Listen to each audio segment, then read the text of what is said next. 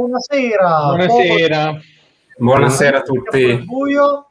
Nuova puntata della nostra serie sugli incontri stellari e questa sera abbiamo niente poco di meno che il professor Andrea Cimatti, eh, astrofisico di, della di Bologna. spaziale Euclid dell'ESA, astrofisico, a cui lavora questo, questo, questo elemento qua, quindi eh, Quello il capo lavoro. di, di, di Matteo. Dovrei lavorare. e autore anche di un bellissimo libro da, da cui abbiamo preso spunto per il sottotitolo della nostra diretta. Esatto, eh, Andrea è appunto un benvenuto. astrofisico che lavora eh, a Bologna e diciamo sono di parte perché è cofondatore della missione per cui lavoro all'Agenzia Spaziale Europea di Madrid, che è Euclid, che è una missione eh, che unisce le forze di ESA, della NASA e mh, di altri paesi come Canada, come Giappone e di un consorzio di vari enti di ricerca, sono numerosissimi.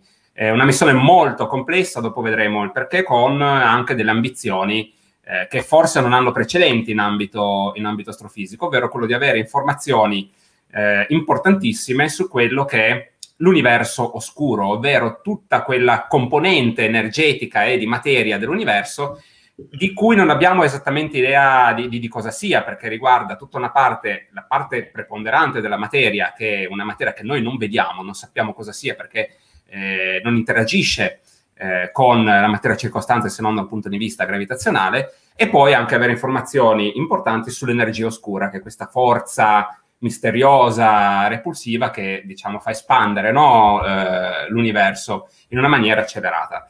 E quindi questa sera parleremo di tutte queste cose meravigliose e poi concluderemo appunto parlando di questa missione Euclid che il cui lancio è previsto, se tutto andrà bene, eh, nella seconda parte del 2022, per il momento intorno a settembre del 2022. Quindi ci addentreremo in tutti questi misteri che tra l'altro eh, sono domande che voi, eh, cari amici che ci seguite, eh, fate praticamente ad ogni diretta, anche quando si parla di tutt'altre cose, perché veramente ovviamente un argomento che appassiona molto. Quindi grazie Andrea di essere qui, di mostrarci un po' tutto, tutti questi argomenti questa sera.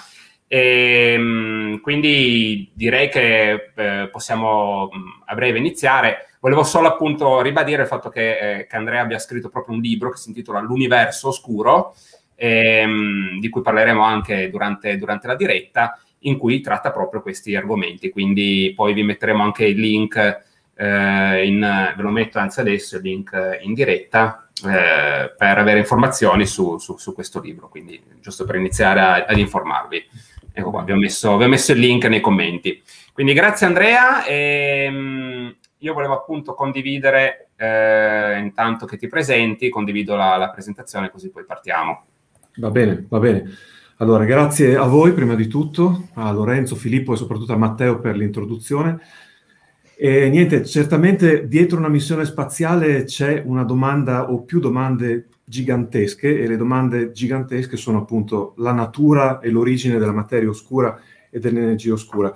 Quindi io sono un docente del Dipartimento di Fisica e Astronomia dell'Università di Bologna, quindi faccio ricerca in ambito cosmologico astrofisico, faccio docenza e tante cose e sono, sono uno dei cofondatori, come ha detto Matteo, della missione Euclid, di cui vi parlerò un po'. Soprattutto vorrei spiegarvi perché esiste la missione Euclid e cosa vorrebbe ottenere la missione Euclid, che è diciamo, lo scopo principale. È anche interessante, no? Poi magari ne parleremo, anche di dirci un po' dietro le quinte di come nasce una missione ah, spaziale, perché posso, posso raccontarvi... Non è una cosa immediata che uno si alza la mattina, ah, beh, mandiamo questo satellite no, spazio, no, no, quindi... infatti, infatti. Poi ci addentreremo, insomma. Adesso io condivido intanto la presentazione. Vai Lorenzo. C'è un bel commento da parte di Marco Monti che scrive Buonasera prof, siamo quelli della prima fila di Via Gobetti. Complimenti per la presidenza del DIPA. No, no, sì, sì, ho capito. Va bene, grazie, saluto tutti. Non vi vedo purtroppo, ma è ormai la costante di quest'anno. No, qualcuno ho visto perché loro si riferiscono al fatto che sono stato eletto direttore del Dipartimento la scorsa settimana, per cui ho un bel peso oltre alla missione spaziale. C'è anche questa cosa. Comunque, va bene, andiamo avanti. Parliamo dell'universo e non di me. ok, Allora, questo sarebbe, vabbè, il titolo, d'accordo, quindi non, non, c'è niente di... Ecco, io volevo dire una cosa, io non ho idea di chi sta ascoltando, sta vedendo, non ho idea del livello, per cui a me piace sempre cominciare... Molto generale. Prendendo le misure, perché quando io parlo di universo, per me magari sembra come parlare di bere una Coca-Cola, invece vorrei capire, ecco, anzi vorrei introdurre, diciamo, così il concetto di universo, quello che io intendo per universo. Quindi possiamo passare alla slide successiva che è molto banale per chi è esperto di, di astronomia, di astrofisica, di cosmologia, però è molto importante in questa eh, conferenza chiacchierata, chiamiamola così. Eh, vi dà un'idea delle dimensioni e di quello che io intendo per universo. Quindi siamo sulla Terra, Terra ha 13.000 km quasi eh, di, di, diametro, Terra che fa parte del Sistema Solare, che ha una dimensione eh, fino a a circa 10 miliardi di chilometri se ci limitiamo alla zona dei pianeti, con al centro il Sole, Sole che però eh, scompare, diciamo, come dimensione quando introduciamo il sistema solare, che possiamo vedere come una sorta di appartamento in cui noi viviamo, lo introduciamo nella megalopoli, che è la galassia, la nostra galassia con la G maiuscola, perché è la nostra galassia, che ha una dimensione immensa di eh, circa 10 alla 17 km. Questo vuol dire un 1 seguito da 17 zeri. E la galassia, come potete vedere da questa rappresentazione artistico-scientifica della NASA, è un disco a spirale costituito da 100 miliardi di stelle, tra cui il Sole, gas e mezzo interstellare, che è presente in questo disco che ruota intorno al proprio centro. Quindi è già qualcosa di totalmente incommensurabile per la nostra mente, totalmente inimmaginabile, che però a sua volta scompare quando lo introduciamo la introduciamo in realtà, in, io, in, quello che io chiamo universo. Ecco, quello che vedete sulla, sulla sinistra insomma, dello schermo è un cubo generico di una zona di universo su una scala gigantesca di 10 alla 22 km, come potete vedere sopra scritto in giallo. E tutti quei puntini azzurri sono migliaia di milioni o addirittura in totale migliaia di miliardi di galassie che sono presenti nell'universo. Quindi questo che cos'è? Non è un'opera uh, di arte contemporanea, è il risultato di una simulazione numerica di relatività generale e cosmologia, allo stato dell'arte delle nostre conoscenze e se voi pensate che ogni puntino azzurro che vedete è una galassia o un, un, insieme di galassie, vedete che non si distribuiscono le galassie in modo omogeneo, uniforme all'interno di questo cubo, ma si distribuiscono in filamenti eh, alternati a vuoti, a zone meno dense, e questa struttura, che viene chiamata scientificamente struttura a grande scala dell'universo, ma nello slang, nel, nel, gergo così di oggi viene chiamata anche ragnatela cosmica, è come ci possiamo immaginare che sia distribuita la materia luminosa nell'universo. Quindi un sistema molto complicato di cui noi vediamo una sorta di istantanea eh, di oggi. Questo sarebbe una, sarebbe una zona generica di universo oggi, d'accordo? Questo è molto importante anche per capire le dimensioni. Quindi io quando parlo di universo mi riferisco a questo sistema che non sappiamo se è infinito, non sappiamo neppure se è finito, perché noi possiamo osservarlo e possiamo avere informazioni fino a una distanza che viene chiamata orizzonte cosmologico. Eh, oltre quell'orizzonte non possiamo andare perché la luce non ha ancora fatto in tempo ad arrivare a noi, tanto è distante questo orizzonte cosmologico. Quindi la domanda è infinito o finito l'universo? Non ha risposta, tanto per cominciare subito a mettere le cose in chiaro o diciamo in meno chiaro. Comunque questo è, è quello che intendo per Universo e che ci accompagnerà nella chiacchierata e nella conferenza. Questo è il punto che volevo fare all'inizio. Andiamo avanti, poi eh, lasciamo magari spazio alla discussione. Quindi un astronomo, ne ho scelto uno abbastanza importante, un certo signor Edwin Hubble, che vedete in una foto in bianco e nero di un secolo fa all'incirca. L'astronomo vede questa struttura proiettata come nel cielo in due dimensioni e studiando le galassie e determinando la loro posizione e la loro distanza può determinare, eh, può cercare di ricostruire questa struttura a grande scala, questa ragnatela cosmica. Quindi noi eh, come mezzo di eh, indagine utilizziamo i telescopi che ci consentono di raccogliere la luce delle galassie e studiare la loro distribuzione nello spazio. Possiamo anche andare avanti, ce ne deve essere ancora una su questa, uh, così, ecco.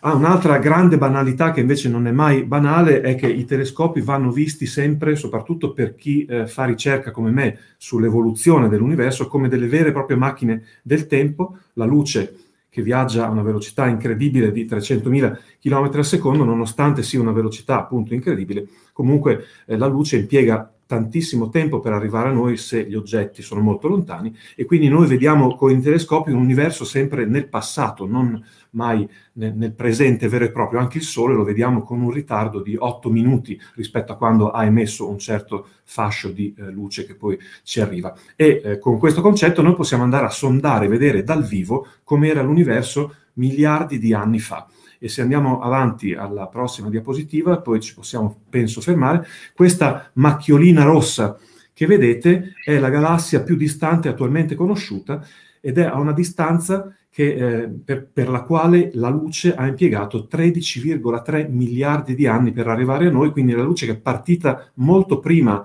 che si formasse il Sole, molto prima che si formasse la Terra, che si sono formati circa 4,5 miliardi eh, di anni fa e quindi è il nostro modo di vedere l'universo dal vivo nel passato e questo è eccezionale come eh, strumento di indagine. È vero che non possiamo fare esperimenti in laboratorio sulle galassie o sulle stelle, ma possiamo avere una visione diretta eh, come avessimo veramente una macchina del tempo.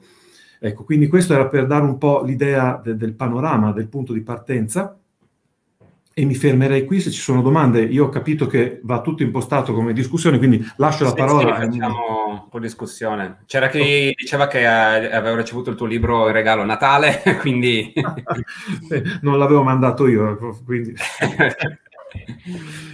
E, ehm, chiedono, eh, che abbiamo visto prima che hai usato un cubo per rappresentare l'universo, se c'era un motivo specifico oppure era semplicemente un... No, no, no, è che tradizionalmente queste simulazioni vengono fatte utilizzando un cubo, forme cubiche che possono essere meglio inserite nei programmi di calcolo che fanno questo tipo di... Es- esatto, un'altra domanda era sui programmi di calcolo, se, se hai per caso un'idea delle potenze di calcolo che ci vogliono per realizzare simulazioni dell'universo così a grande scala. Eh... Ah, posso, adesso de- dei numeri posso anche dirli, ma sono molto da, da, specialisti, ma posso dire che sono necessari consorzi di più istituti in Europa per esatto. acquistare delle macchine in grado di fare eh, simulazioni di questo tipo. Poi su piccola scala è possibile fare qualcosa anche con computer meno potenti, però diciamo che se si vuole grandi, vogliono grandi volumi e quindi un grande numero di galassie e anche poi eh, informazione dettagliata sulle galassie e sulla distribuzione su piccole scale è necessaria una potenza di calcolo eh, sbalorditiva, ecco, che solo appunto consorzi internazionali possono eh, gestire. Quindi le domande voi le leggete, io non sento le voci. Sì. De, de, no, ci sono le domande nei commenti. Eh, no, no, ma io mi fido. Abbiamo già 550 persone in diretta, quindi eh, le domande fioccano. Quante? Un bel risultato, 550 al momento persone connesse in diretta, è come un'aula magna completamente piena. Cioè un'aula super magna. Va bene, eh, andiamo avanti. Quelle di medicina, tipo, non quelle che molto, ci molto bene. e, eh, una domanda che eh, viene da eh, YouTube, chiedono, ma eh, nell'Ultra Deep Field di Hubble di quanti anni luce si parla? Quindi quando si parla di, della capacità di un telescopio, quanto lontano nel tempo possiamo andare a guardare? La, la rifraso eh, in questo senso. È proprio l'immagine che vediamo sullo schermo. Questa viene dall'Ultra Deep Field di Hubble e questa galassia, per chi magari ha un po' di esperienza, è a redshift circa 11 10.8 ed è stata confermata proprio l'anno scorso come, come, distanza. Prima c'era qualche dubbio sulla distanza ed è questa, quindi proprio viene da, da lì. Quindi diciamo che la distanza che riusciamo a, ad, ad, osservare in miliardi di anni fa è questa, insomma circa 13,3-13,4 secondo altre stime, comunque siamo lì. Se pensiamo che l'età dell'universo stimata è 13,8 miliardi di anni, siamo molto vicini alla uh, proprio infanzia dell'universo qua. Sì, GNZ11 è il nome della galassia, ci avevamo anche fatto un post eh, esatto. tempo fa e eh, mi pare che la distanza commovente, cioè l- la distanza luce è 13,3 miliardi di anni, nel senso che la luce ha impiegato 13,3 o 4 miliardi di anni per arrivare a noi. La distanza proprio misurata col metro in, in realtà sarebbe molto più alta di, eh, di 13 miliardi di anni luce. Mm, a memoria mi pare siano 32 eh, questo perché appunto l'universo si espande mentre la luce viaggia e quindi la luce non percorre solo i 13,3 miliardi di anni di tempo che ci separano da quel momento, ma eh, attraversa anche una distanza eh, che nel frattempo aumenta e questo pro- provoca il fatto che eh, se misurata appunto con un metro eh, la distanza della galassia sarebbe 32 eh, miliardi di anni luce. Ecco, infatti nel libro... Filippo faccio... è il nostro cosmologo. Come? Ecco, no, appunto, ottimo, ottimo. Infatti mi hai fatto un assist perfetto perché nel libro faccio l'esempio di un corridore che deve fare i 100 metri, ma in realtà questi 100 metri si dilatano mentre lui corre e, e ci mette molto più tempo per arrivare alla, al traguardo rispetto a quello che avverrebbe se non ci fosse l'espansione, diciamo, de, della pista. Quindi è proprio la stessa cosa. C'erano altre domande, intanto poi, poi andiamo avanti. Ehm eh, vediamo se la ritrovo. Eh, eh, Antonio chiede se c'è una spiegazione sul perché le galassie si sono disposte in filamenti. Non so se questa cosa poi verrà affrontata anche più avanti. Nella... Uh, sì, sì c'è, c'è, una spiegazione che nasce dal fatto che la materia da cui si formano le galassie inizialmente non è perfettamente omogenea e quando cominciano a formarsi le galassie tendono a, a seguire le zone di più alta densità che poi col passare del tempo con un effetto a valanga acquisiscono sempre più materia dalle zone circostanti, quindi si formano questi filamenti e più i filamenti si ingrossano, più si, eh, diciamo, diventano meno dense le zone circostanti, quindi oltre ai filamenti ci sono delle zone che vengono chiamate vuoti in cosmologia, che non sono proprio vuoti, ma sono zone di bassissima densità dove non si sono formate molte galassie e si sono formate invece a vantaggio delle zone di filamenti o di ammassi di galassie, ecco, è quello che vedremo tra pochissimo. Eh, ci, sono altre domande, però poi in avanti perché sono veramente tantissime. Questa è interessante, più inerente a questa questione delle distanze.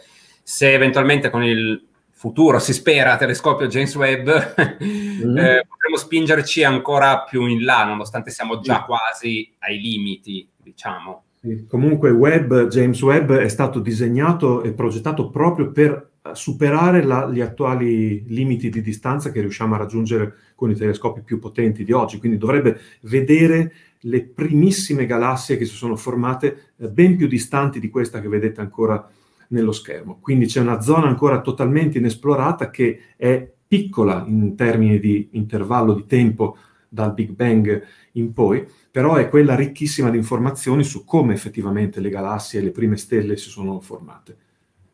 Sì, poi c'è anche da dire che comunque le galassie non si sono formate al giorno 1 dopo il Big Bang, cioè hanno messo comunque qualche centinaio, qualche paio di centinaia di milioni di anni per formarsi.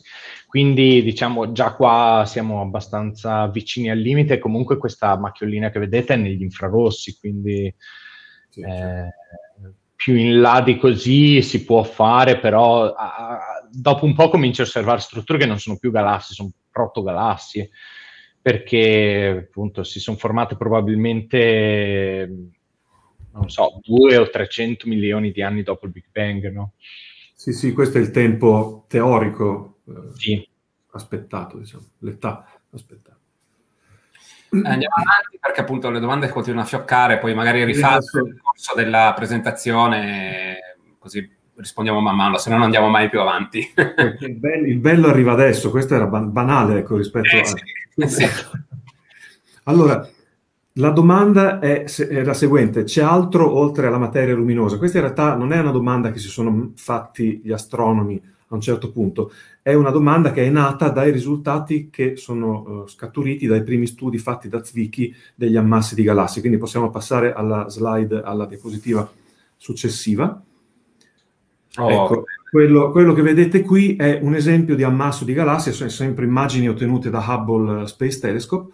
Gli ammassi di galassie sono raggruppamenti di galassie, di centinaia o migliaia di galassie, tutte ravvicinate, tenute insieme all'interno di una grande struttura che viene chiamata appunto ammasso di galassie. Allora, qual è stata la grande scoperta di Zwicky nel 1933, quindi circa 90 anni fa ormai? È quella di eh, Zwicky riuscì a misurare le velocità con cui si muovono queste galassie all'interno di questo contenitore, diciamo che noi chiamiamo ammasso, e eh, se uno sa un po' di fisica può capire che eh, più, eh, più materia è contenuta all'interno di questo sistema, più le galassie si muoveranno velocemente perché eh, più materia c'è, più massa c'è, più forza di gravità c'è e la forza di gravità imprime accelerazioni eh, sempre maggiori, tanto più appunto massa è presente, sulle galassie che quindi si muoveranno eh, sempre più velocemente. E quello che calcolò Zwicky eh, fu che queste galassie si muovono troppo velocemente rispetto alla massa che uno calcolerebbe sommando le masse delle singole galassie. Quindi si muovono, sono, si muovono troppo velocemente, vuol dire che c'è molta più massa che non si vede direttamente e che Zwicky stesso fu il primo appunto nella storia dell'astronomia a coniare eh, con il termine appunto di materia oscura, eh, indicando proprio la quantità di materia dotata di massa ma che non è visibile perché non emette luce, ma ci deve essere perché noi ne vediamo gli effetti gravitazionali. Questo risultato è stato confermato in modo universale in tutti gli ammassi di galassie studiati da allora fino ad oggi e confermato indirettamente da altre prove come le lenti gravitazionali che vedete qua in questa immagine, vedete che ci sono degli archi eh, qua e là nell'immagine che sono immagini di, eh, deformate di galassie che si trovano prospetticamente dietro l'ammasso e eh, la cui forma viene completamente deformata dal fatto che lo spazio-tempo viene incurvato fortemente dalla, mass- dalla massa dell'ammasso di galassie fino a produrre questi archi che hanno eh, caratteristiche, posizioni che eh, gli esperti di lenti gravitazionali sanno interpretare per misurare quanta massa è presente dentro l'ammasso di galassie. E se uno usa questa tecnica, eh, viene lo stesso risultato di Zwicky, quindi due esperimenti indipendenti che forniscono lo stesso risultato, ovvero sia, e possiamo passare poi alla diapositiva successiva, che eh, è presente una grande quantità di materia oscura che non emette luce, ma deve essere presente perché produce degli effetti altrimenti non eh, spiegabili. E questo risultato, prima trovato negli ammassi di galassie, è stato poi esteso e generalizzato a tutti gli oggetti eh, che noi vediamo nell'universo, dalle galassie a spirale alle galassie eh, sferoidali, cioè le galassie cosiddette ellittiche e lenticolari, fino alle galassie eh, chiamate sferoidali nane. Eh, il denominatore comune di tutti questi oggetti è che noi a questo punto ci dobbiamo immaginare che siano oggetti luminosi ma circondati da uno cosiddetto alone di materia oscura che è molto più esteso delle galassie stesse e che contiene la maggior parte della massa di questi sistemi. Eh, volevo farvi vedere un, un esempio, ecco, nel, nella diapositiva successiva, che poi ci possiamo magari fermare anche qui se ci sono domande, l'esempio famosissimo. Come? Ce ne sono un sacco già, quindi... No, allora, f- spiego questo, poi mi fermo. Ecco, l'esempio veramente da manuale della materia oscura è quello delle galassie a spirale, che come la nostra sono galassie appunto che ruotano intorno al proprio centro. E quello che eh, noi diciamo, possiamo fare come scienziati è costruire la cosiddetta curva di rotazione di queste galassie che consiste nel misurare la velocità con cui questa galassia ruota intorno al proprio centro in funzione della distanza dal centro. Qui a destra sono, c'è un grafico, guardate quello in alto, vedete che c'è velocità di rotazione in funzione della distanza dal centro della galassia. Se ci fosse solo la materia luminosa, quella che noi vediamo in questa fotografia, ci aspetteremmo una curva tratteggiata, come quella tratteggiata, cioè la velocità dovrebbe diminuire andando verso l'esterno perché finisce la materia luminosa della galassia. Invece quello che si osserva è la curva sopra, che resta praticamente piatta, quella sopra con scritto velocità misurata, che resta piatta e non diminuisce mai fino almeno a dove arrivano le osservazioni.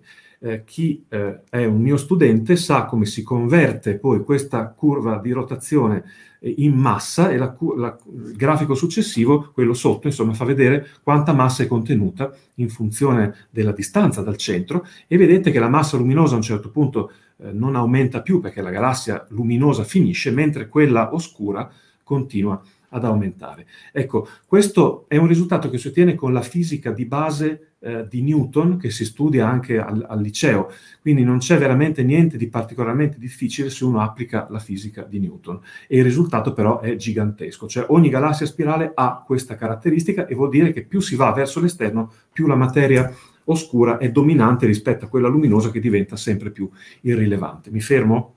Sì, sì dai.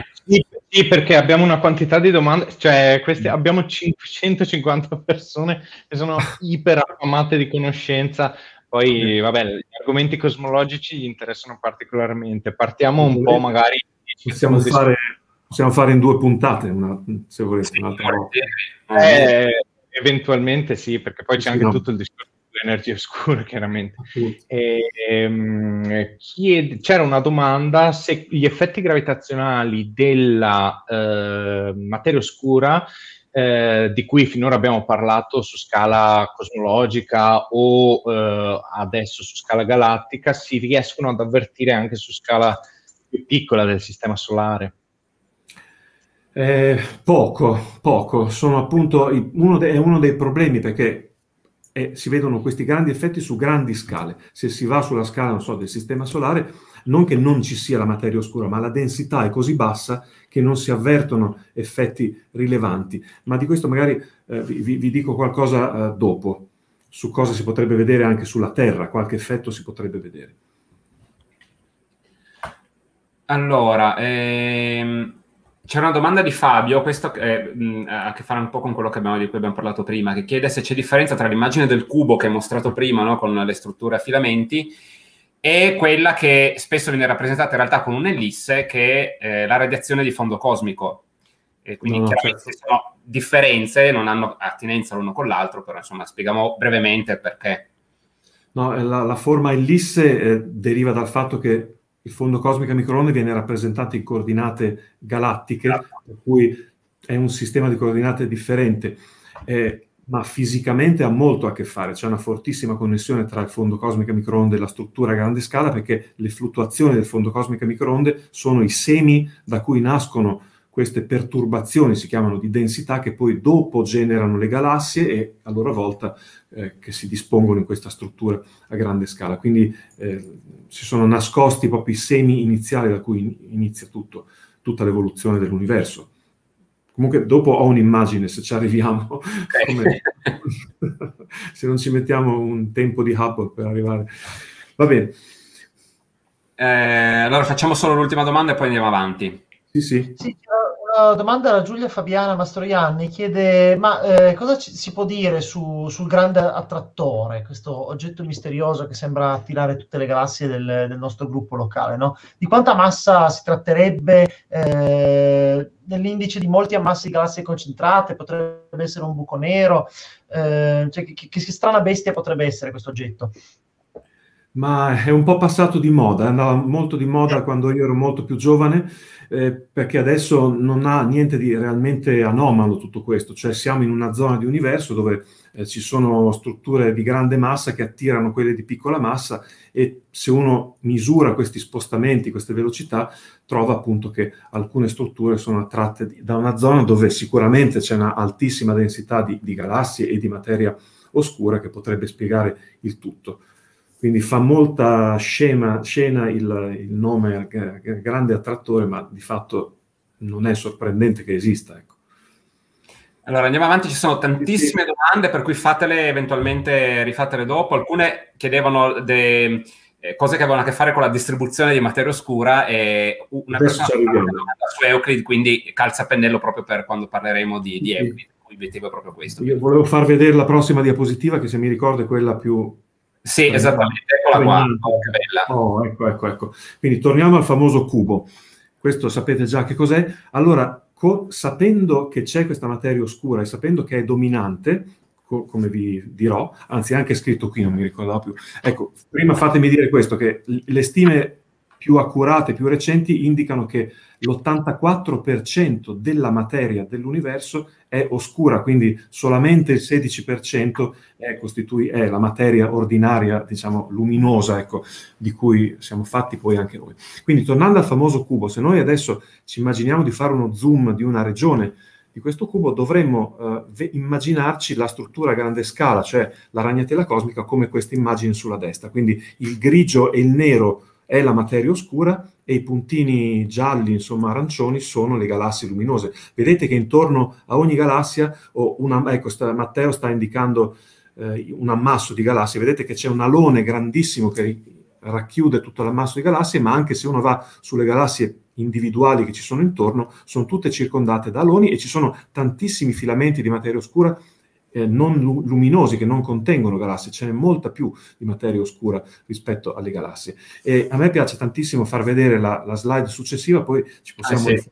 rifermare se, se, se, volete, perché questo è per capire un po' il concetto di, questa, di, di quello che ho descritto prima, cioè questo è un albero di, di Natale, ovviamente, ovviamente, ve lo dico io, eh, fotografato di notte con le lampadine ed è un po' quello che noi vediamo nella struttura a grande scala, cioè la massa della, dell'albero di Natale, che sarebbe l'equivalente della materia oscura, eh, sono il tronco, i rami, eccetera, eccetera, che noi non vediamo chiaramente, ma ci sono e sono abbondantemente eh, massicci rispetto alle lampadine, che però si dispongono sui, sui, rami, sulla struttura di questo albero, quindi noi dalle lampadine possiamo ricostruire in realtà anche la forma dell'albero di Natale senza vederlo, l'albero di Natale. E, e in cosmologia si fa esattamente la stessa cosa, sfruttando le galassie come traccianti luminosi, come si dice, per ricostruire la struttura a grande scala dell'universo, che è poi lo scopo di Euclid.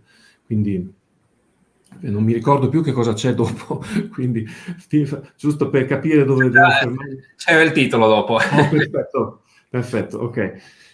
Vabbè, se c'è qualche domanda, ditemi voi. Ecco, sono... Sì, sono varie. C'era eh, Riccardo che consigliava il tuo libro, Roberto consigliava il tuo libro, eh, bellissimo libro, ti fai complimenti. E, mh, mm, eh, allora c'era qualcuno che chiedeva mm, una questione sull'espansione dell'universo, chiede se tutte le galassie si stanno allontanando, cosa vuol dire che, esi- eh, che, che, esiste un centro oppure no? Questo magari ne parliamo dopo quando parliamo di espansione. Sì. Che esatto, esatto. Rimandiamo, rimandiamo dopo. Ok. Ehm, Chiara chiede, ma quindi la materia oscura è una sorta di elemento a noi sconosciuto? Ecco, perfetto. Eh, la, la okay. spiegazione, cioè la non spiegazione a tra pochissimo alla prossima slide praticamente. Quindi e Daniele chiede, in un ipotetico viaggio intergalattico si rischia di andare a sbattere contro la materia oscura?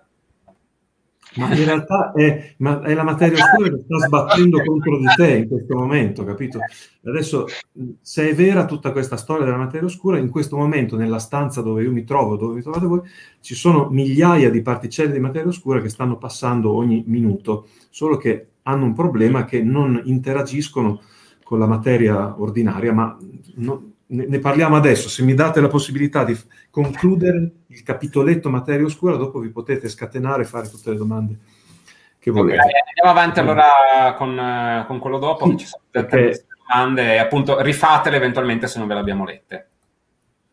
Perché oh. la, doma- la, domanda è questa, che cos'è la materia oscura allora? Eh, assumendo che ci sia, ecco, crediamoci come una religione assoluta, crediamoci. Allora andiamo avanti. Eccola qua. Sì, allora uno, una, così, un chiarimento, eh, la materia ordinaria, io chiamo materia ordinaria la materia fatta dagli atomi della tavola periodica che abbiamo studiato a scuola, all'università, eh, che eh, delle molecole che compongono poi le molecole e quindi gli oggetti e gli esseri viventi che conosciamo molto bene. Possiamo vedere la prossima. La materia ordinaria la vediamo nel, nel cosmo, nell'universo, in tantissime forme, stelle di tutti i tipi, nane bianche, stelle di neutroni, gas e polvere interstellare, i buchi neri di origine eh, stellare sono fatti di materia ordinaria, nane brune che sono anello, l'anello di congiunzione, cioè non di congiunzione, l'anello eh, mancante diciamo, tra le stelle e i pianeti, i pianeti, i corpi minori del sistema solare, asteroidi, comete, quindi tutto quello che vedete qui è costituito di materia da materia eh, ordinaria, d'accordo?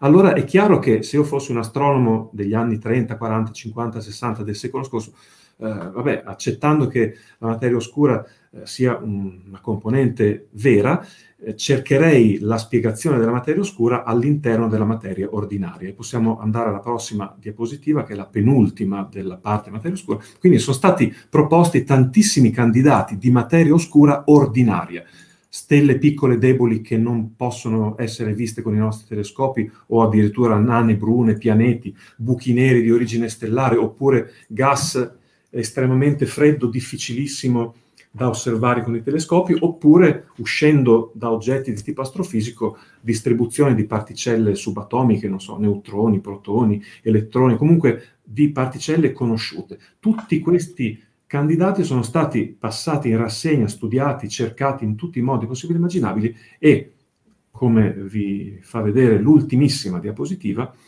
purtroppo uno ad uno, purtroppo, per fortuna, poi anche, ecco, tutte, tutte queste ipotesi sono state praticamente demolite eh, da eh, diciamo, una combinazione di, eh, di, di informazioni che vengono da un lato dalle osservazioni sempre più sensibili che sono state sviluppate in questo secolo e dall'altro da esperimenti come per esempio quello di, delle lenti, del micro lensing gravitazionale che ha escluso eh, completamente l'esistenza di un grande numero di stelle piccole oppure pianeti, nane, nane, brune nel nostro alone della nostra eh, galassia o buchi neri. Quindi diciamo che ci si può mettere veramente una croce, una croce sopra, non ci sono più dubbi sul lato sinistro di questa diapositiva. E quindi per esclusione, veramente per esclusione, perché non si sa da che parte sbattere la testa, si deve concludere che la materia oscura eh, debba essere di natura non ordinaria, cioè composta da particelle che a noi sono sconosciute, la cui natura è sconosciuta e di cui sappiamo solo che devono avere massa perché noi vediamo gli effetti gravitazionali che queste particelle dotate di massa producono. Va bene? E eh, però siamo a un livello ancora estremamente lontano dal conoscere la, la, la, realtà e la natura di queste particelle perché sono state sviluppate tantissime ipotesi che vanno da particelle di piccolissima massa, adesso per chi è un po' esperto di eh, milionesimi di electron-volt eh, di massa, fino a particelle dell'ordine dei, delle centinaia dei, di GeV, di giga electron-volt, che sarebbero equivalenti, che ne so, a un atomo uh, di argento come, come massa de- della tavola periodica di, della materia ordinaria, fino a megaparticelle chiamate uh, WIMP-Zillas, in uh, così, connessione col mostro Godzilla, che forse i più vecchi si ricorderanno, che, che dovrebbero avere masse gigantesche dell'ordine anche fino a miliardi di, di, di miliardi di electron-volt, ma mh, sembrano improbabili. Però questo per dire che c'è di tutto nelle teorie, ma nessun esperimento è riuscito ancora a catturare queste particelle perché sono eh, estremamente elusive, sono come dei fantasmi che attraversano eh, i nostri spazi anche terrestri e con una probabilità bassissima di incontrare appunto la materia ordinaria e produrre qualche effetto osservabile. Mi fermo. Okay. ok, prima di cominciare con le domande, eh, mi premeva di chiarire un po' di confusione che ho visto nei commenti sulla cifra 84%. No? Tu dicevi l'84% della materia è materia oscura e c'era una domanda del tipo, eh ma se l'84% dell'universo è materia oscura e il 16% dell'universo è materia ordinaria, dov'è la, l'energia oscura? E un altro chiedeva, ma nell'84% c'è anche eh, di materia oscura c'è anche l'energia oscura? E la risposta è chiaramente no. Eh, cioè, in un grafico a torta noi avremo circa il uh, eh, 70% del contenuto dell'universo è energia oscura, poi più o meno 25% è materia oscura e solo un 4-5% è materia ordinaria, ok? Quindi di tutta la materia, cioè il 25% dell'universo, l'85-84% è è, è, materia oscura, quindi attenzione a non imbrogliarvi con, uh, con, con le percentuali, quindi diciamo il 70% dell'universo è energia oscura, che è una cosa totalmente diversa dalla materia, infatti hanno due nomi diversi. De, del, del, 30% che rimane per completare insomma, il censimento di massa dell'universo, di quel 25% l'84% è materia oscura, il 5% materia ordinaria. Questo proprio giusto per sgombrare il campo da ogni possibile dubbio su, sui sì, numeri. Esatto, cioè per, per, riassumere quell'84% si riferiva solo alla materia, non... c'è la componente di energia che è un'altra storia, come vedremo che arriva tra poco. Allora, ehm, intanto eh, leggo una domanda di, di Giovanni Gandolfi che ehm, un saluto al professor Cimatti di cui ho amato i corsi, quindi hai molti, molti studenti. Grazie, grazie, spero di averti dato un bel voto. allora, fa una domanda abbastanza eh, seria, nel senso di, eh, secondo lei qual è il tassello mancante più plausibile, promettente per completare il modello di Cold Dark Matter risolvendo i problemi che ha su scala delle galassie, se eventualmente fosse possibile? È una domanda di un tosta questa, se lo sapessi. Sarebbe una delle grandi risposte al, ai dilemmi dell'universo, effettivamente. Abbiamo un estremamente variegato, da, dagli studenti di astrofisica ai semplici appassionati, quindi più o meno arrivano da tutte le direzioni le domande, è un fuoco di fila. Bene, mi fa piacere, ma guarda, dal punto di vista delle osservazioni, quindi dal punto di vista sperimentale, sarebbe importantissimo, per esempio, capire come è distribuita la materia oscura nelle zone centrali delle galassie, perché lì ci si aspettano differenze molto grandi a seconda del tipo di materia oscura. A seconda che siano assioni o WIMP, ci si aspettano forme della distribuzione di densità molto differenti. Quindi, però, dal punto di vista sperimentale osservativo, è un tipo di osservazione molto, molto difficile e quindi ci sono ancora molti dubbi. Poi ci sono altri aspetti, ma non voglio monopolizzare ecco, la discussione su questo che è un po' tecnico, diciamo, come aspetto. C'è una bella domanda che ci arriva da YouTube da Andrea Coscia. Lui chiede: Ma la materia ordinaria può concentrarsi a formare pianeti, stelle, buchi neri, eccetera. La materia oscura non può arrivare ad alte concentrazioni? Che è un po' quello che mi chiedo anch'io. Cioè, se un buco nero mangia materia oscura, cresce di massa? Come funziona la questione? No, certo, nulla vieta di accrescere anche materia oscura, però eh, gli oggetti luminosi che noi vediamo, come le galassie, restando nel campo delle galassie, ma si può fare lo stesso discorso anche delle stelle, sono sistemi che si formano eh, perché la, la, materia può perdere energia, per esempio emettendo radiazione e collassando molto più efficientemente e in volumi molto più piccoli di una materia come quella oscura che invece non può perdere energia in questo modo. Quindi l'energia cinetica delle particelle di materia oscura resta sempre elevata e si oppone molto più facilmente al collasso locale che porta poi agli oggetti luminosi. Quindi è una differenza. Infatti gli aloni di materia oscura sono molto più grandi delle galassie luminose perché la materia oscura non ha seguito il collasso così approfondito nelle zone centrali che invece ha potuto effettuare la materia ordinaria luminosa, insomma il famoso teorema del Vigliare di cui abbiamo parlato spesso e volentieri qui in live quando parliamo dell'accrescimento dei buchi neri supermassicci, eccetera. Cioè la materia oscura non ha accesso a questo meccanismo di dissipazione dell'energia gravitazionale esatto. tramite l'energia termica, banalmente. Cioè, può, può, convertire energia in, da cinetica potenziale da potenziale a cinetica, ma non la può perdere così efficientemente come, fanno, come fa un gas che perde energia emettendo luce, per esempio termicamente intendo proprio non solo temperatura cinetica delle particelle, esatto. ma proprio emissione luminosa, perché non, non, ha accesso a questo canale. Sì. Ok, ci sono altre domande, però andiamo avanti perché sennò, così, poi come sempre, vi ripeto, eh, rifatele e cercheremo di leggerle più avanti, però andiamo avanti perché c'è tutta la parte di energia oscura che è okay. estremamente interessante, poi di Euclid, però ovviamente dobbiamo parlarne. Quindi... Sì, adesso cerco, cerco, di andare veloce qua, ma Andiamo avanti e poi fate le domande, appunto, ripet- ripetetele, ne leggiamo perché ci sono veramente tantissime, ma proprio tante, tante. Quindi mettiamo nel cassetto l'energia oscura e assumendo che ci sia, andiamo avanti, cambiamo scala, parliamo proprio dell'universo in senso più generale e dell'espansione dell'universo. Vai pure avanti, Matteo, grazie, se sei tu che... Sì. Vabbè, prima di tutto, l'universo non è un sistema statico, è un sistema dinamico, in espansione in particolare, e questo risultato che è una delle pietre miliari della conoscenza eh, del genere umano, in generale è arrivato n- nell'epoca circa un secolo fa, eh, quando appunto Hubble eh, trovò i primi risultati della, dell'allontanamento delle galassie con osservazioni eh, e poi anche le metre utilizzò gli stessi risultati per appunto sviluppare questa ipotesi dell'espansione dell'universo, quindi infatti la legge che una volta si chiamava legge di Hubble, adesso viene chiamata legge di Hubble-Lemaitre dal 2018, e, però questo trovò una spiegazione fisica nella teoria della relatività di Einstein, che compare infatti in questa foto insieme a Lemaitre, ma soprattutto nella soluzione delle equazioni di Einstein da parte di Friedman, che trovò che eh, la relatività generale prevedeva soluzioni con un,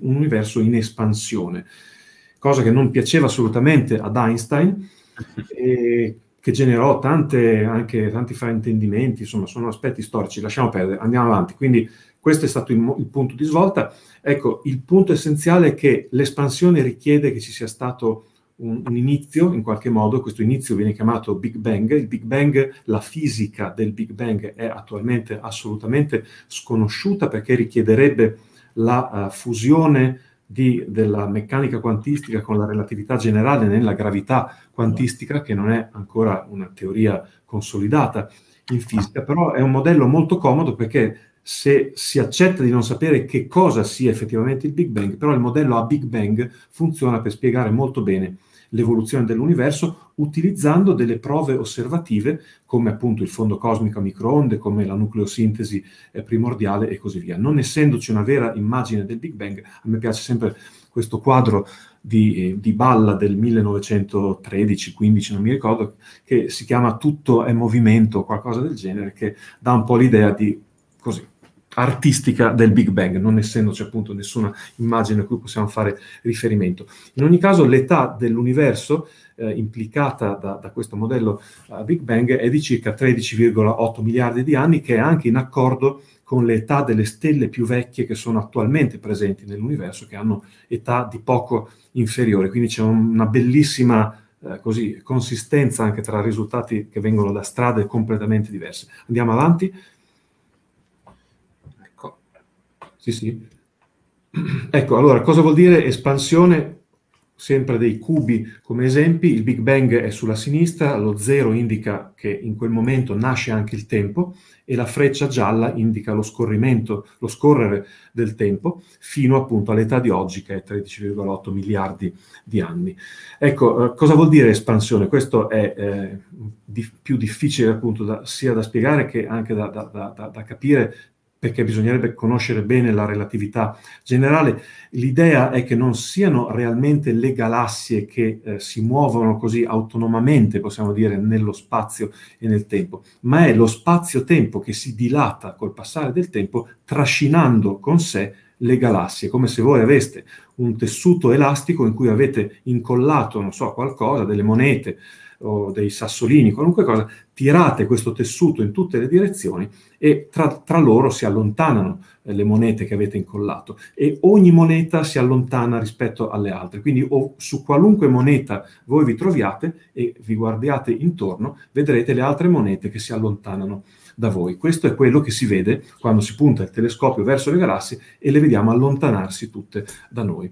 Quindi in questi due cubi che vedete, quello sulla sinistra è di un tempo precedente, quello sulla destra è dopo che è passato un po' di tempo, è il cubo che si espande, cioè lo spazio-tempo, possiamo dire così, mentre le galassie eh, seguono appunto questa espansione. Ma localmente, dove vince la gravità, si possono formare eh, nuove, nuove, galassie, come appunto è successo alla nostra, come è successo agli ammassi di galassie, ma questo avviene simultaneamente all'espansione dell'universo. Ecco, che cosa regola questa eh, espansione dell'universo? Questa espansione dell'universo è regolata dal contenuto di materia, dal tipo di materia e tipo, dai vari tipi di energia che possono essere presenti nell'universo. Quindi è da questo mix che dipende quanto veloce va l'espansione dell'universo. Possiamo andare avanti? Questo lo possiamo saltare, così andiamo verso le, la, la parte più interessante. Ecco, come si espande l'universo, andiamo su questa. Benissimo. Qui siamo nel territorio della cosiddetta cosmologia osservativa, cioè gli esperimenti che i cosmologi possono fare per misurare appunto il contenuto di energia e di materia nell'universo. Si può utilizzare il fondo cosmico a microonde, che è quello appunto a cui facevamo riferimento prima, questo rappresentato in coordinate galattiche con questa ellisse, dove, che consiste in una luminescenza che è presente in tutto il cielo, in qualunque direzione noi guardiamo, che emette, cioè dovuta a fotoni nelle microonde e che non è però perfettamente costante in tutte le direzioni, ma ha delle piccolissime fluttuazioni molto piccole, di una parte su 100.000, che sono amplificate in questa immagine a colori per farle vedere ai nostri occhi, ma sono realmente microscopiche. E queste, come dicevo, sono, sono dovute a delle fluttuazioni di densità eh, che sono legate poi alla formazione delle strutture che noi vediamo come ragnatela cosmica. Comunque questa è una miniera di informazione di cosmologia da cui si possono estrarre informazioni sulla eh, densità della materia, la densità de, di, de, della radiazione, dei neutrini, insomma di tutto quello che è presente nell'universo. La ragnatela cosmica offre un altro laboratorio eccezionale di cosmologia, gli ammassi di galassie pure, e anche, per finire, le supernove di tipo primo A, che sono delle esplosioni di stelle binarie in cui c'è una stella, eh, una nana bianca che accresce materia da una compagna, generalmente una gigante rossa, e superata una certa soglia di massa critica della nana bianca, questi sistemi esplodono. E il vantaggio che noi abbiamo è che questi sistemi hanno una potenza conosciuta e costante, uguale per tutte queste stelle esplosive, diciamo, chiamate supernove di tipo primo A. E eh, misurando quanto velocemente si indebolisce una supernova di questo tipo in funzione della distanza da noi, come se noi avessimo una lampadina di potenza conosciuta e l'allontanassimo eh, di vari chilometri progressivamente da noi, ecco, usando, misurando questo mh, indebolimento di queste supernove a distanze sempre maggiori, possiamo proprio misurare il tasso di espansione dell'universo. Quindi incrociando, che è quello che si fa in cosmologia, le informazioni che vengono da tutte queste osservazioni, è emerso questo quadro che adesso vi faccio vedere. Avanti. Sì, sì, grazie, scusami, non te l'avevo detto. No, ecco avanti allora uh, su- quella successiva.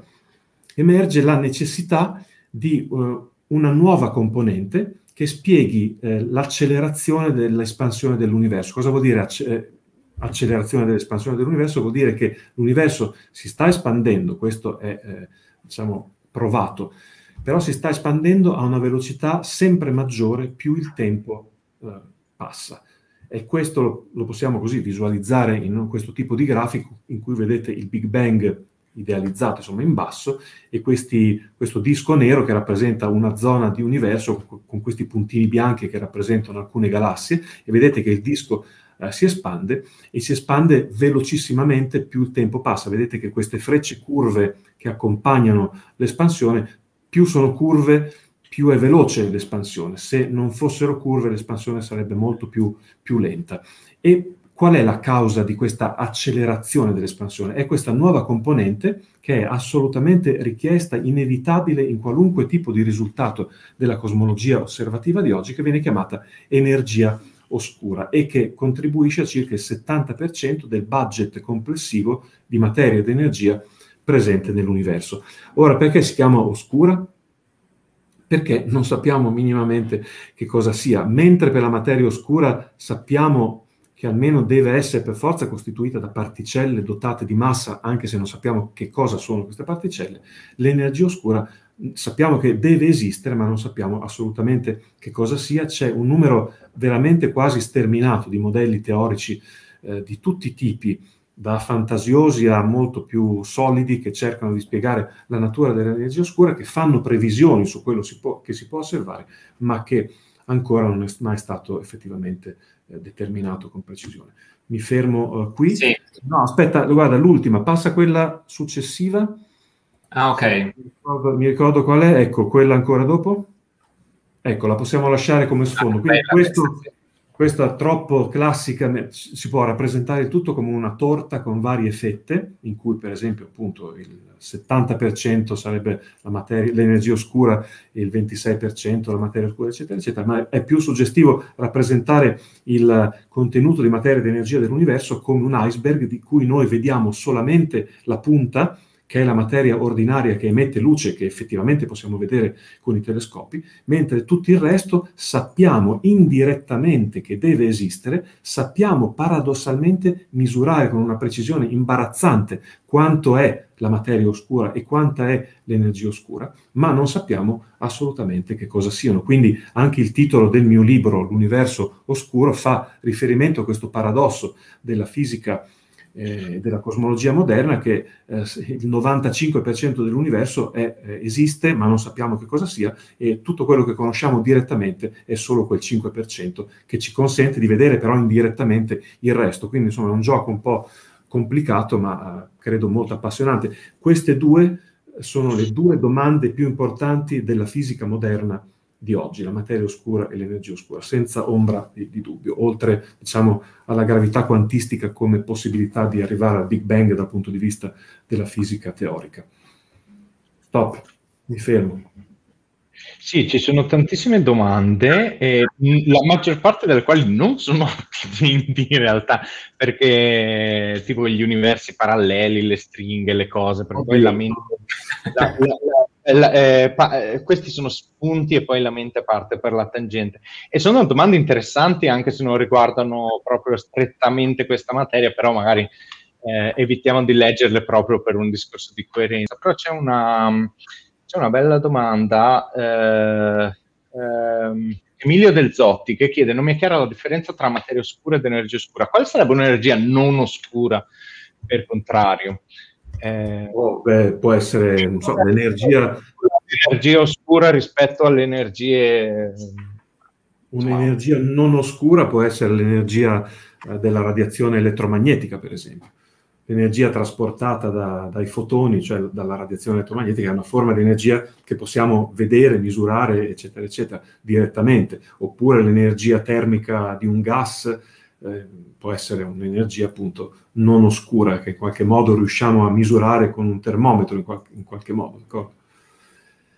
Quindi il termine oscuro è molto suggestivo, ma fa riferimento all'ignoranza nostra principalmente. Ecco.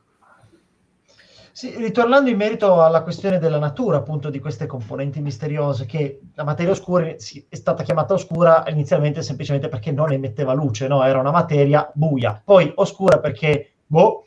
E Valentina Penza fa una domanda che un po' tutti avranno pensato in chat quando, ne, ne, quando stavamo facendo vedere all'inizio le evidenze scientifiche da cui si deduce la presenza di una materia non visibile che fa ruotare le galassie un po' più rapidamente delle attese.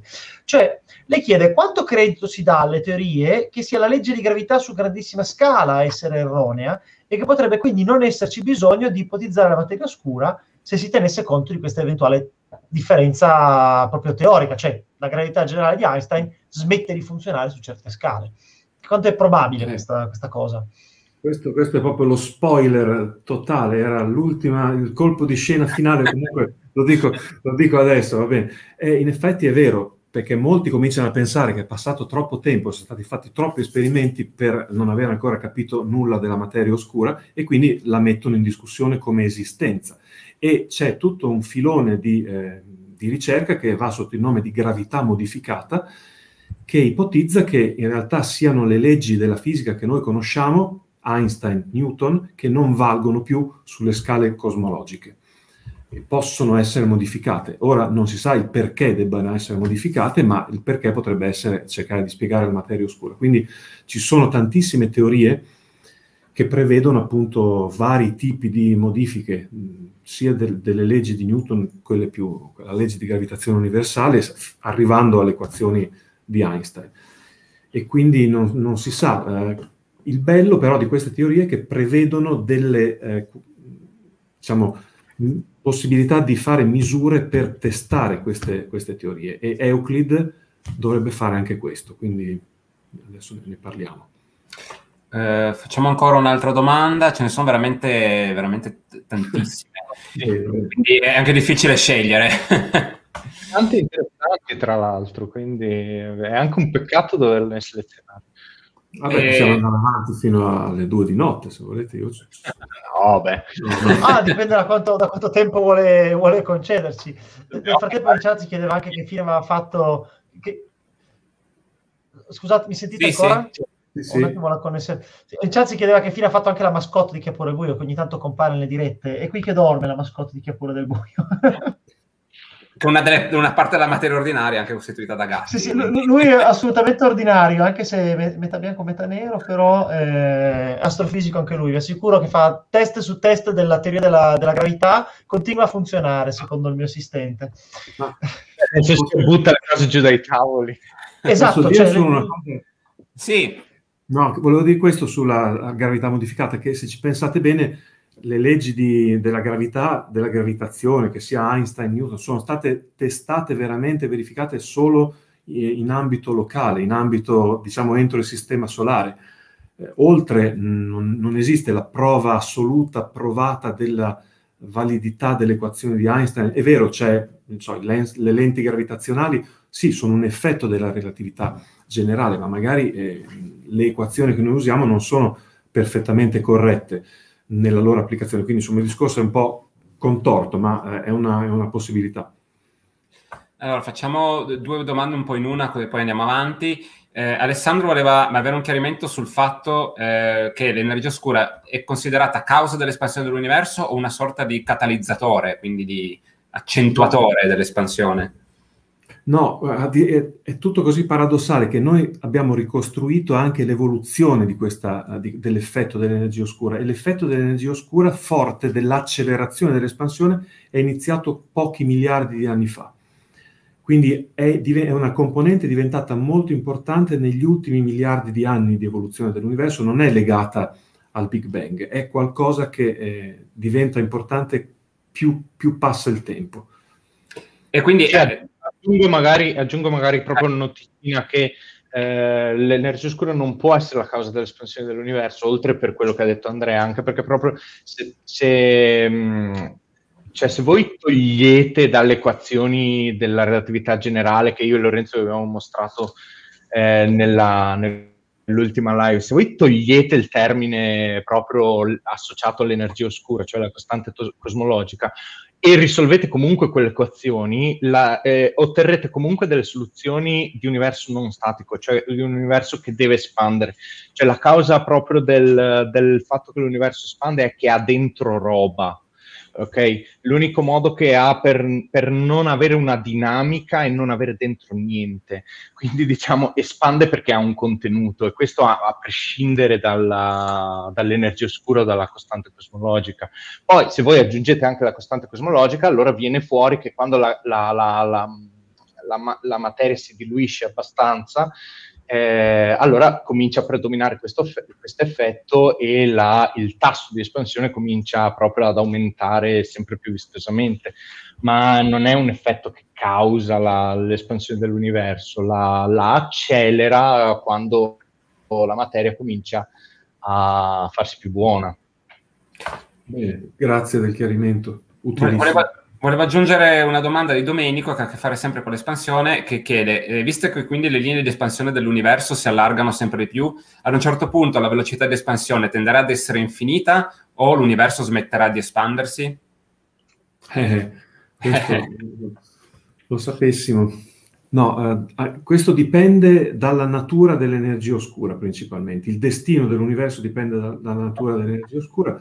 Eh, può essere un'espansione infinita eh, oppure ci sono dei modelli che addirittura prevedono un rallentamento o prevedono, diciamo sì, sono queste le due grandi famiglie, un rallentamento oppure una espansione infinita sempre più accelerata.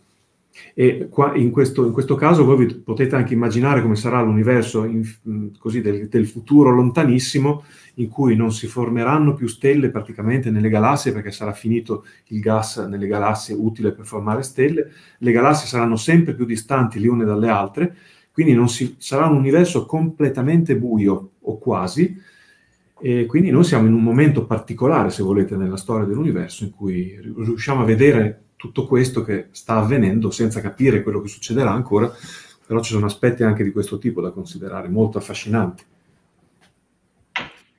E adesso andiamo avanti e siamo, sono quasi 600 le persone, quindi stiamo raggiungendo il picco proprio nel, nella parte che interessa anche a me, perché adesso si parla proprio della missione ecco, andiamo, andiamo a Euclid, ecco, spaziale esatto. Euclid, eh, di cui appunto Andrea è cofondatore, io sono di parte perché ci, ci lavoro, quindi eh, parte che mi piace. Allora, dunque, eh, ci sono tantissimi esperimenti in corso sulla Terra, anche a livello di fisica delle particelle, per cercare di fare luce diciamo, sulla materia oscura. Per l'energia oscura è più complicato, ci vogliono, ci vogliono esperimenti astronomici, quindi eh, basati su osservazioni astronomiche. E Euclid è una missione dell'ESA, dell'Agenzia Spaziale Europea, che è stata eh, il risultato della fusione di due concetti di missione che si chiamavano Space e Dune, presentati all'ESA da sottoscritto. Io presentai Space e un mio collega Alexandre Refreget presentò Dune nel 2007 in competizione tra loro e l'ESA decise che erano belle tutte e due e meritavano di essere fuse diciamo, in un'unica missione che mantenesse diciamo, la filosofia di queste due. E quindi che, in cosa consiste la missione eh, Euclid? Consiste in un telescopio che eh, fa osservazioni nel visibile nel vicino infrarosso di un metro e venti di diametro che verrà lanciato nel 2022 nella seconda parte del 2022 e che eh, funzionerà almeno per sei anni e andrà in un'orbita in L2 a un milione e mezzo di chilometri eh, dalla Terra, quindi quella figura che vedete è una, un disegno diciamo, ingegneristico della missione con indicate le varie componenti, il telescopio, eccetera, eccetera, e porta a bordo due strumenti che si chiamano uno VIS e l'altro NISP.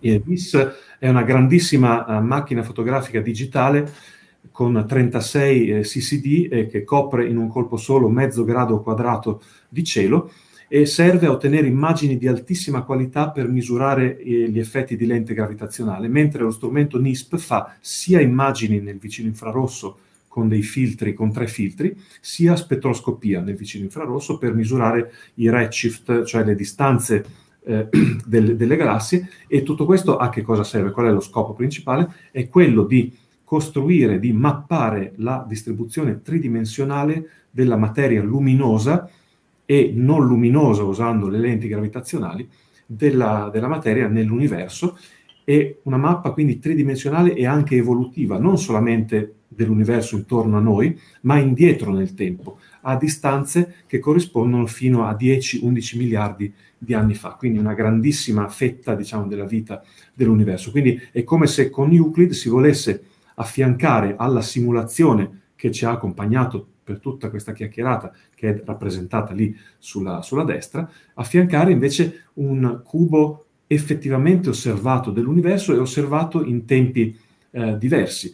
Quindi questo è un po' lo scopo. E perché a cosa serve tutto questo? Serve perché, come vi ho detto, la uh, ragnatela cosmica, la struttura grande scala, grande scala, si può considerare un po' come il DNA dell'universo eh, è una, una, miniera, letteralmente una miniera di informazioni da cui si possono estrarre informazioni sul tasso di espansione dell'universo, sul tipo di materia oscura, sul tipo di energia oscura e anche fare dei test sui modelli di gravità modificata, perché la, i, i modelli scusate, di gravità modificata prevedono diversi tassi di espansione e di collasso della materia che forma poi le galassie, gli ammassi eh, rispetto alla gravità standard, chiamiamola così, che è quella di Einstein-Newton. Quindi tutto questo dovrebbe essere osservabile se uno eh, riuscisse appunto a osservare un numero di galassie enorme, dell'ordine di 2 miliardi, è per questo che ci metterà sei anni a fare questa osservazione, a raccogliere dati per sei anni consecutivi per formare questa sorta di gigantesco eh, affresco, possiamo dire, tridimensionale di questa distribuzione delle galassie che sappiamo poi essere utile anche per tracciare la materia oscura. E così, ah, non, non, così un po' lateralmente rispetto all'aspetto scientifico c'è anche un aspetto interessante perché eh, dietro Euclid c'è un consorzio che include più di 2000 partecipanti tra scienziati, ingegneri, informatici, eccetera, eccetera, università eh, di tutta Europa, la NASA, appunto, come ha detto Matteo prima, il Canada, adesso entrerà probabilmente anche il Giappone e così via. E in Italia c'è una fortissima partecipazione da, da parte dell'Istituto Nazionale di Astrofisica, dell'Istituto Nazionale di Fisica Nucleare, dell'ASI, cioè dell'Agenzia Spaziale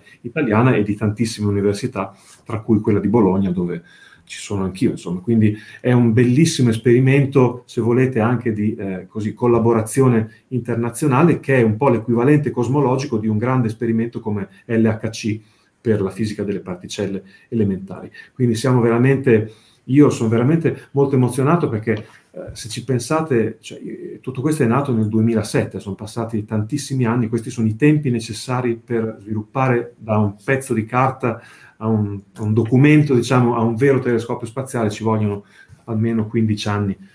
Quindi, insomma, speriamo che funzioni tutto bene e ne vedremo delle belle, ecco, sicuramente. Poi possiamo andare avanti, c'era qualcos'altro in più su Euclid, su Euclid, sì, questo vabbè, lasciamo perdere, è ridondante con quello che ho già detto. Ecco, c'era giusto per chi fosse appassionato, su, questi sono dei dati simulati, noi adesso abbiamo simulato il tipo di dati che forse Matteo conosce, che ci aspettiamo che vengano. sì, vabbè. E quindi, vedete, sono immagini, le prime due, insomma, la prima sulla sinistra è un'immagine simulata di VIS, quella al centro è un'immagine simulata di NISP, e poi quella sulla destra sono degli spettri eh, simulati sempre che vengono da NISP, e questo a noi serve per simulare poi le misure sulle, sui dati simulati, essere pronti, avere sviluppato tutti gli algoritmi che serviranno per eh, macinare tutti questi dati e produrre poi i risultati scientifici. Quindi voi vi dovete immaginare che delle galassie simulate che vedete in queste immagini conosceremo la posizione tridimensionale a un certo tempo cosmico dell'espansione dell'universo e mettendo insieme tutto questo in sei anni di osservazione continua, appunto dovremmo produrre questo tipo di informazioni sulla, sulla ragnatela cosmica. Quindi io posso anche finire, volevo solo far vedere le ultime due, guarda, puoi saltare eh, questa, ecco, puoi passare a quella successiva. Ecco, questa mi piace sempre da fare vedere, questa figura che è una figura tratta da un testo del 1880 di Camille Flammarion, in cui si vede, vedete, un uomo che cerca di andare oltre le apparenze luminose della volta celeste, oltre la luce delle stelle, cercando di capire i meccanismi che sono dietro al funzionamento del cosmo ed è così una figura un po' visionaria, se ci pensate, della fine dell'Ottocento, che così eh, preannunciava che ci sarebbero state molte cose da capire oltre la componente luminosa. E poi mi tocca far vedere l'ultima slide, poi abbiamo finito e potete fare tutte le domande che, vedete, che volete, che è eh, così. Eh, ne ha già parlato Matteo, questa è la copertina del mio libro che non so se riuscite a vedere, qui insomma è piccolino, è, è, è tascabile. La prima edizione è uscita nel 2017, questa è la nuova edizione uscita l'anno scorso, dove ho aggiunto, ho aggiornato alcune cose, ho aggiunto un, un, capitolo sui buchi neri, uno sulla gravità modificata, anche ci sono così informazioni, ed è tutto a livello estremamente introduttivo. Perché l'ho scritto? Perché eh, questa eh, problematica dell'universo oscuro in cui non si conosce il 95% dell'universo, io la trovo eh, culturalmente, scientificamente così appassionante, misteriosa e paradossale, come vi ho detto, che io ho pensato che dovesse essere così divulgata di più questa problematica, allora ho scritto questo librino, insomma, che nel 2017 ha anche vinto il premio nazionale per la divulgazione scientifica della categoria di scienze matematiche. No, questo non lo dico certo per darmi delle aree, ma perché sono stato contento perché è scritto per tutti, diciamo. Ecco, vabbè, basta. Vi ho messo il link in ogni caso commenti, per cui lo trovate su Amazon il link che vi ho messo. Questa sera la marchetta Sono... non ve la facciamo noi, ve la fa il professore. allora, c'erano un po' di domande su, su Euclid. Eh, mm-hmm. eh, uno chiede uh, qual, qual, è... Eh, qual, qual, è il mio compito, poi vabbè rispondo alla fine. Eh, in ogni caso, la, questa la faccio anch'io, qual è il, il tuo compito attualmente all'interno del, del progetto Euclid, mm. che ha tantissimi gruppi di lavoro, quindi... Sì. Allora, da, partendo dall'alto, io sono nello Euclid eh, Science Team, cioè sono nel team scientifico dell'ESA eh, di Euclid, quindi è, è dove è, è, il team scientifico dell'ESA che include anche scienziati che non sono diciamo, pagati dall'ESA, ma siamo comunque ospitati in questo team. E poi sono nel board cosiddetto di, del consorzio Euclid, dove siedono i rappresentanti nazionali della collaborazione Euclid. Siamo due italiani, io e Roberto Scaramella dell'INAF ah, sì. a Roma, e quindi noi due rappresentiamo l'Italia in questo tavolo che è molto uh, politico, strategico, che segue la, la, missione ad alto livello fin da, dai primi passi, insomma e poi sono coordinatore di un gruppo di lavoro scientifico sull'evoluzione delle galassie sulla, di, che si baserà sui dati di Euclid, quello più... Scusate, io dico Euclid perché eh, sono sì. abituato a... per gli amici Euclid, possiamo dire. Euclid è proprio è un nome dato per far intuire no? lo scopo che è quello della, di, di, di, capire la geometria proprio dell'universo oscuro. La geometria dell'universo geometria dell'universo che dipende appunto dal contenuto di materia e di energia. Eh, una cosa interessante, eh, come si, si, può intuire no, il fatto, questa distribuzione di, di materia oscura, da che cosa eh, lo si può ricavare? Eh, da, da, questo fenomeno ci sono vari osservabili cosmologici, uno dei principali è ehm, proprio osservare miglia, milioni, milioni, milioni di galassie eh, cercando di eh, capire la deformazione no? della, della, forma delle singole galassie. Noi abbiamo visto che con il lensing gravitazionale forte, eh, si, la distorsione degli oggetti che stanno dietro un ammasso di galassie è eh, tranquillamente visibile ai nostri telescopi. In questo caso si parla della distorsione della forma su, sulle singole galassie, che ovviamente non è rilevabile all'occhio nudo perché si parla di distorsioni inferiori all'1%, quindi eh, misurabili solo con uno strumento incredibilmente preciso come sarà Euclid e con eh, elaborazione dei dati anche che devono essere eh, molto molto precise. Quindi eh, come funziona un po' il, ehm, la, dedurre la distribuzione della materia oscura osservando singole galassie?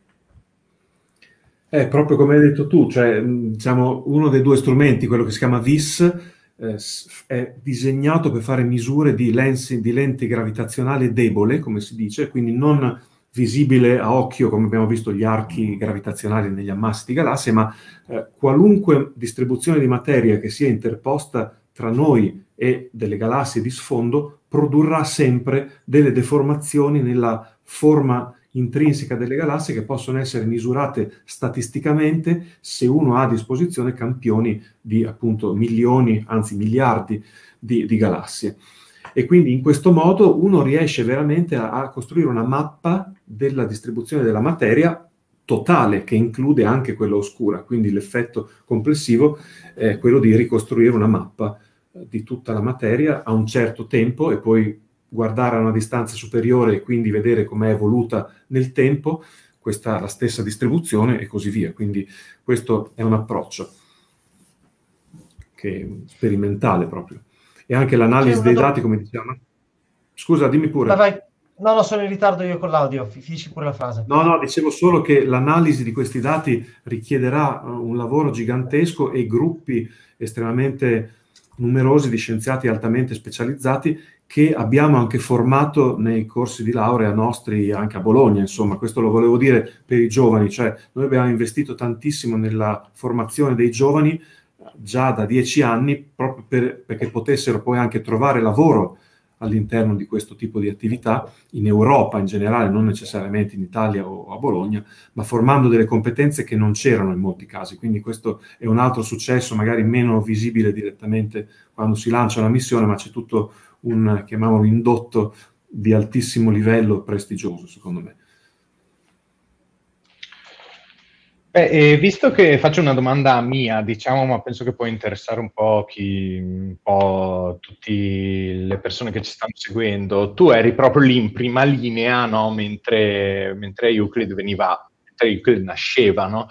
E, e, non è che capita, insomma, proprio tutti i giorni di, di avere come ospite qualcuno che eh, ha, ha ha proprio dato il via a una missione spaziale, quindi magari puoi raccontarci qualcosa su come, come funziona la, la, la, nascita di una grande missione come Euclid, quali sono i passaggi, cioè cosa significa, come si, come si fonda eh, una grande missione spaziale. Si fonda allora funziona così, in questo caso specifico ci fu un bando dell'ESA che si chiamava Cosmic Vision 2015-2025 in cui eh, venne, chiesta, venne chiesta alla comunità europea di proporre dei concetti di nuove missioni spaziali. E noi proponemmo questa che si chiamava Space allora, che arrivò prima sostanzialmente a pari merito con questa francese che si chiamava Dune. D'accordo? E arrivò prima, non, ancora non è che lo dica per pavoneggiarmi, ma eh, su, credo su 70 proposte che arrivarono all'ESA o qualcosa del genere. Adesso è passato un bel po', 13 anni sono passati, quindi non, me lo ricordo esattamente. Allora, siccome erano tutte e due missioni che attaccavano il problema della materia oscura, energia oscura, e in modi complementari tra loro, l'ESA impose un matrimonio veramente forzato, molto forzato devo dire, eh, anche molto faticoso, molto doloroso, per cui ci, fu un, ci furono due anni veramente, devo dire, molto molto difficili anche a livello proprio dei rapporti personali tra le persone, eh, perché fu un matrimonio a costo zero, se volete, cioè eh, riunire due missioni molto ambiziose in una in cui ci dovevano stare tutte e due non poteva essere fatto a un costo più elevato, quindi ci furono delle forti rinunce da una parte e dall'altra e quindi fu molto, molto difficile, però a posteriori fu una, un'ottima iniziativa dell'ESA e da quel momento seguita, sono seguite tutte le fasi che caratterizzano una missione spaziale, quindi passare realmente da un disegno puramente teorico su un pezzo di carta alla fattibilità, agli studi di ingegneria aerospaziale, eh, i, eh, i, contratti con le industrie aerospaziali, la costruzione di tutte le componenti, dall'elettronica all'ottica, allo sviluppo parallelo del segmento di terra, che è quello che raccoglie i dati che vengono dalla missione e che poi eh, li, li, analizza con questi algoritmi potentissimi che dovranno maneggiare eh, dati di, di, di dimensioni eh, veramente mai affrontate prima. Quindi è stato un percorso per me anche molto, molto formativo a livello personale che ha formato tante persone che lavorano anche con me. Quindi alla fine faticosissimo, devo dire, ma i primi anni io andavo tipo 20 volte all'anno all'ESA a Nordwijk in, in Olanda, quindi ero, vivevo lì praticamente. Ecco. Però è stato veramente molto, molto appassionante. E tu conosci René Laureis, no? Accidenti, sì, ecco, lui è il, è il coordinatore del Science Team dell'ESA. Sì, sì, abbiamo tutti i lunedì riunione appunto con lui che ovviamente presiede. Mm. Eh, allora, c'è una domanda interessante eh, di eh, Antonio che chiede eh, se per avere il, loro, il, lavoro completo con Euclid serviranno tutti i sei anni oppure già dai, dai primi anni, insomma, si potranno avere eh, informazioni o quali scoperte scientifiche si potranno comunque fare senza dover attendere per forza tutta la fine della... Eh, della, della mm, sì, sì, Beh, bella domanda questa. Dunque, all'inizio verranno rilasciati eh, dei dati, così chiamiamoli, vengono chiamati quick look, quindi per avere una prima idea di come sono i dati di Euclid di 50 gradi quadrati all'incirca, che sono una, una piccolissima, piccolissimo fazzoletto di cielo rispetto a quello che coprirà Euclid che sono circa 15.000 eh, gradi quadrati. E poi ci saranno delle eh, periodiche release dei vari dati ogni 2500 gradi quadrati, quindi sarà un progressivo miglioramento della conoscenza dei dati che porterà poi nell'arco di sei anni alle misure più precise, però questo vuol, vuol, dire che anche i primi anni, i primi due anni si potranno già fare misure eh, di alto livello capire gli errori sistematici, capire dove migliorare e quindi sarà un processo di apprendimento anche da parte nostra. E io mi aspetterei che nei primi due anni possano venire fuori risultati già molto interessanti. Eh, volevo solo aggiungere una cosa che eh, tra l'altro Euclid è una missione che fa parte dei cosiddetti eh, big data, cioè produrrà una quantità di dati esagerata eh, adesso le stime poi possono cambiare, però si parla di 850 gigabyte di roba al, al giorno e in un anno non mi ricordo nemmeno quanti. E, ehm, e una parte dell'archivio proprio eh, dove questi dati verranno diciamo, custoditi è proprio qua a Madrid, alla sede dell'ESA Madrid, uno degli archivi però dove ci sono anche archivi di altre missioni, una parte importantissima delle missioni spaziali proprio perché eh, dove viene, viene gestito no, tutto, tutto, quanto il materiale che viene prodotto da, da, una missione spaziale di questo tipo. Quindi è importante anche considerare eh, lo sforzo che si deve fare per gestire questa quantità di dati eh, sì, gigantesca. E anche il fatto che intorno a tutta questa attività, eh, come dicevo prima, si è formata tanta, tanta competenza che non esisteva eh, a questo livello, perché è una missione diciamo, astronomica o cosmologica di questo tipo non, non è mai stata sviluppata prima, quindi c'è, c'è, stato tantissimo da imparare sulla gestione di tu, tutti questi dati, l'analisi di questi dati.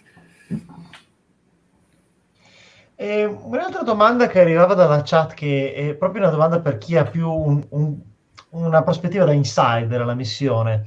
Eh, Gabriele Grassi chiede: ma in che modo si interfacciano i vari team della missione Euclid? Perché immagino sia molto spacchettata no? come gruppi di lavoro. Sì, eh, c'è, c'è, ridi, ride giustamente Matteo.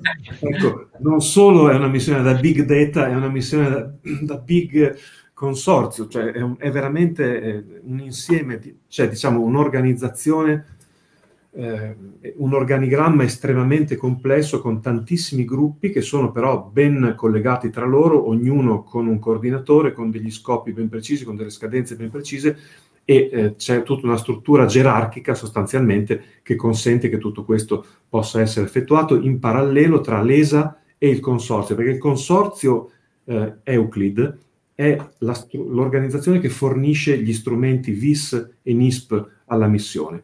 Il telescopio e tutto il resto viene fornito dalle, da industrie aerospaziali e l'ESA fa la supervisione di tutto questo, quindi è veramente complicatissimo, perché non c'è solo il consorzio, ci sono anche le industrie, più tutte le eh, industrie piccole collegate alle industrie grandi, quindi è, insomma è un problema gigantesco di ingegneria gestionale, oltre a quello di cosmologia e di universo oscuro che molto spesso io ho sempre sentito bistrattare i poveri ingegneri gestionali, poi quando invece si arriva a dover organizzare cose di queste dimensioni, gli astrofisici non, non sono tagliati per questo tipo di, di, di lavoro. No, ma infatti anche imparare a, a comunicare e collaborare è stato molto utile da questo punto di vista. Ripeto, è molto formativo per, per tutti. Gli astrofisici vengono visti come così sognatori che vorrebbero fare tutte cose impossibili per gli ingegneri, gli ingegneri sono visti come dei rompiscatole che vogliono sempre ridurre tutto, tutto, a un organigramma rigidissimo, però alla fine si lavora benissimo insieme. Tra l'altro, eh, vai, vai, vai, aggiungo solo sta cosa, tra l'altro nel, nel mio team all'ESA siamo eh, abbastanza ben distribuiti tra astrofisici e ingegneri, eh. siamo, siamo, una decina, siamo, siamo un 50-50 più o meno, quindi... Ah, sì, sì, sì, sì, è abbastanza ben amalgamata come, eh, con, come squadra, ecco. Mm. Cioè, è, un, è, un, miracolo che tutti quegli astrofisici e quegli ingegneri non si ammazzino continuamente. No, no, no, no. no. ah, comunque c'era una domanda sulla segretezza dei dati. Se, se, i dati sono poi, cioè tutta quella enorme mole di dati sarà interamente libera e condivisa urbi e torbi oppure se esiste qualche criterio di, uh, di segretezza per i dati. E poi chi avrà, chi avrà, accesso anche a questi dati? I dati eh, sono, restano di proprietà di ESA e consorzio, quindi protetti per un certo numero di, di, di mesi. Quindi fate conto, un anno e mezzo, il consorzio ha un anno e mezzo per sfruttare scientificamente i dati e produrre i risultati scientifici. Dopodiché i dati diventano pubblici, pubblicamente accessibili a tutti, a tutta la comunità delle nazioni che fanno parte dell'ESA, credo. Sì, quindi sarà, diventeranno pubblici. La risposta semplice è che diventeranno pubblici dopo un periodo invece proprietario, come viene chiamato, in cui i dati saranno di proprietà eh, del, del consorzio per dare un minimo di vantaggio a chi lavora da 15 anni alla missione spaziale. Ecco, mi sembra legittimo come, come desiderio. Allora, eh, sempre per quanto riguarda i dati, eh, c'è una domanda che, che interessante chiede, eh, per poter inviare tutti quei dati a terra, che banda di trasferimento avrà il telescopio? in generale come avviene il trasferimento no, dei dati per una missione di questo tipo? No, eh, sono state, ci hanno, ci hanno, lavorato, io non sono esperto di questo, eh, devo dire la verità. Um, comunque usano la banda K, mi sembra che, che, sì, che venga chiamata, però non, non ti so dare dettagli tecnici. Eh, so che comunque hanno lavorato tantissimo sugli algoritmi di compressione dei dati in modo tale che venissero compressi ma non degradati, perché questo è il problema di fondo. Però alla fine si è raggiunto quel 800 gigabyte che, che, sì, quotidiani. Tra l'altro in, una, in, un intervallo di sole 4 ore, quindi esatto, eh, esatto, esatto. Eh, al, giorno, per cui non è una, un trasferimento costante, è un trasferimento che avviene in una finestra temporale ben precisa, eh, limitata all'interno della giornata. Ecco, però, però, i dettagli della trasmissione non, non li conosco. E aggiungo questa cosa sempre per quanto riguarda questa mole di dati. Ehm, come viene lavorata? Via internet o si deve per forza andare in presenza a Madrid oppure si trasportano fisicamente con supporti tipo hard disk?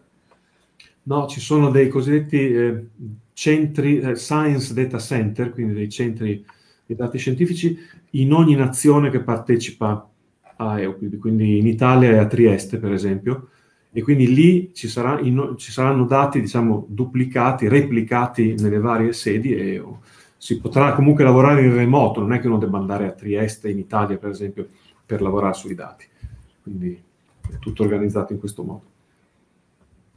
Sì. Allora, ehm, c'era una domanda sulle aspettative di Euclid. Mm-hmm. Eh, le, aspettative, le aspettative sono, quelle principali sono capire che cos'è l'energia oscura, cioè capire in particolare, misurare quello che viene chiamato il parametro dell'equazione di stato dell'energia oscura che dovrebbe fare capire se è una costante cosmologica, cioè un'energia oscura costante nello spazio o nel tempo, e, oppure un campo scalare, come viene detto, cioè una energia oscura variabile nello spazio e o nel tempo. Questo è l'obiettivo primario. L'altro obiettivo è quello di effettuare un test sui modelli di gravità modificata, dove ci si aspetta una precisione elevatissima, quindi questo sarà fondamentale e l'altro è quello della distribuzione della materia oscura, quindi sono, e quindi capire anche alcune caratteristiche della materia oscura sfruttando la ragnatela cosmica. Questi sono gli obiettivi principali. Il tutto poi da mettere in collegamento con i risultati che verranno da altre eh, osservazioni fatte per esempio da Terra o altre osservazioni fatte dallo spazio. Da, da, ci sarà un telescopio spaziale che volerà dopo Euclid della, della NASA, che si chiamava W First, adesso si chiama in un altro modo che non mi ricordo più. Roman sarà... Telescope. Eh, come?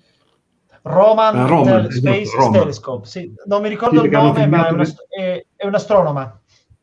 Esatto, e hanno cambiato il nome recentemente, non me lo ricordavo. Ecco, questo sarà complementare a Euclid, osserverà meno, ce- meno, meno zona di cielo, meno area di cielo, ma andrà molto più profondo e quindi fornirà un tipo di dati e di campionamento della ragnatela cosmica diversa, complementare a quella di Euclid.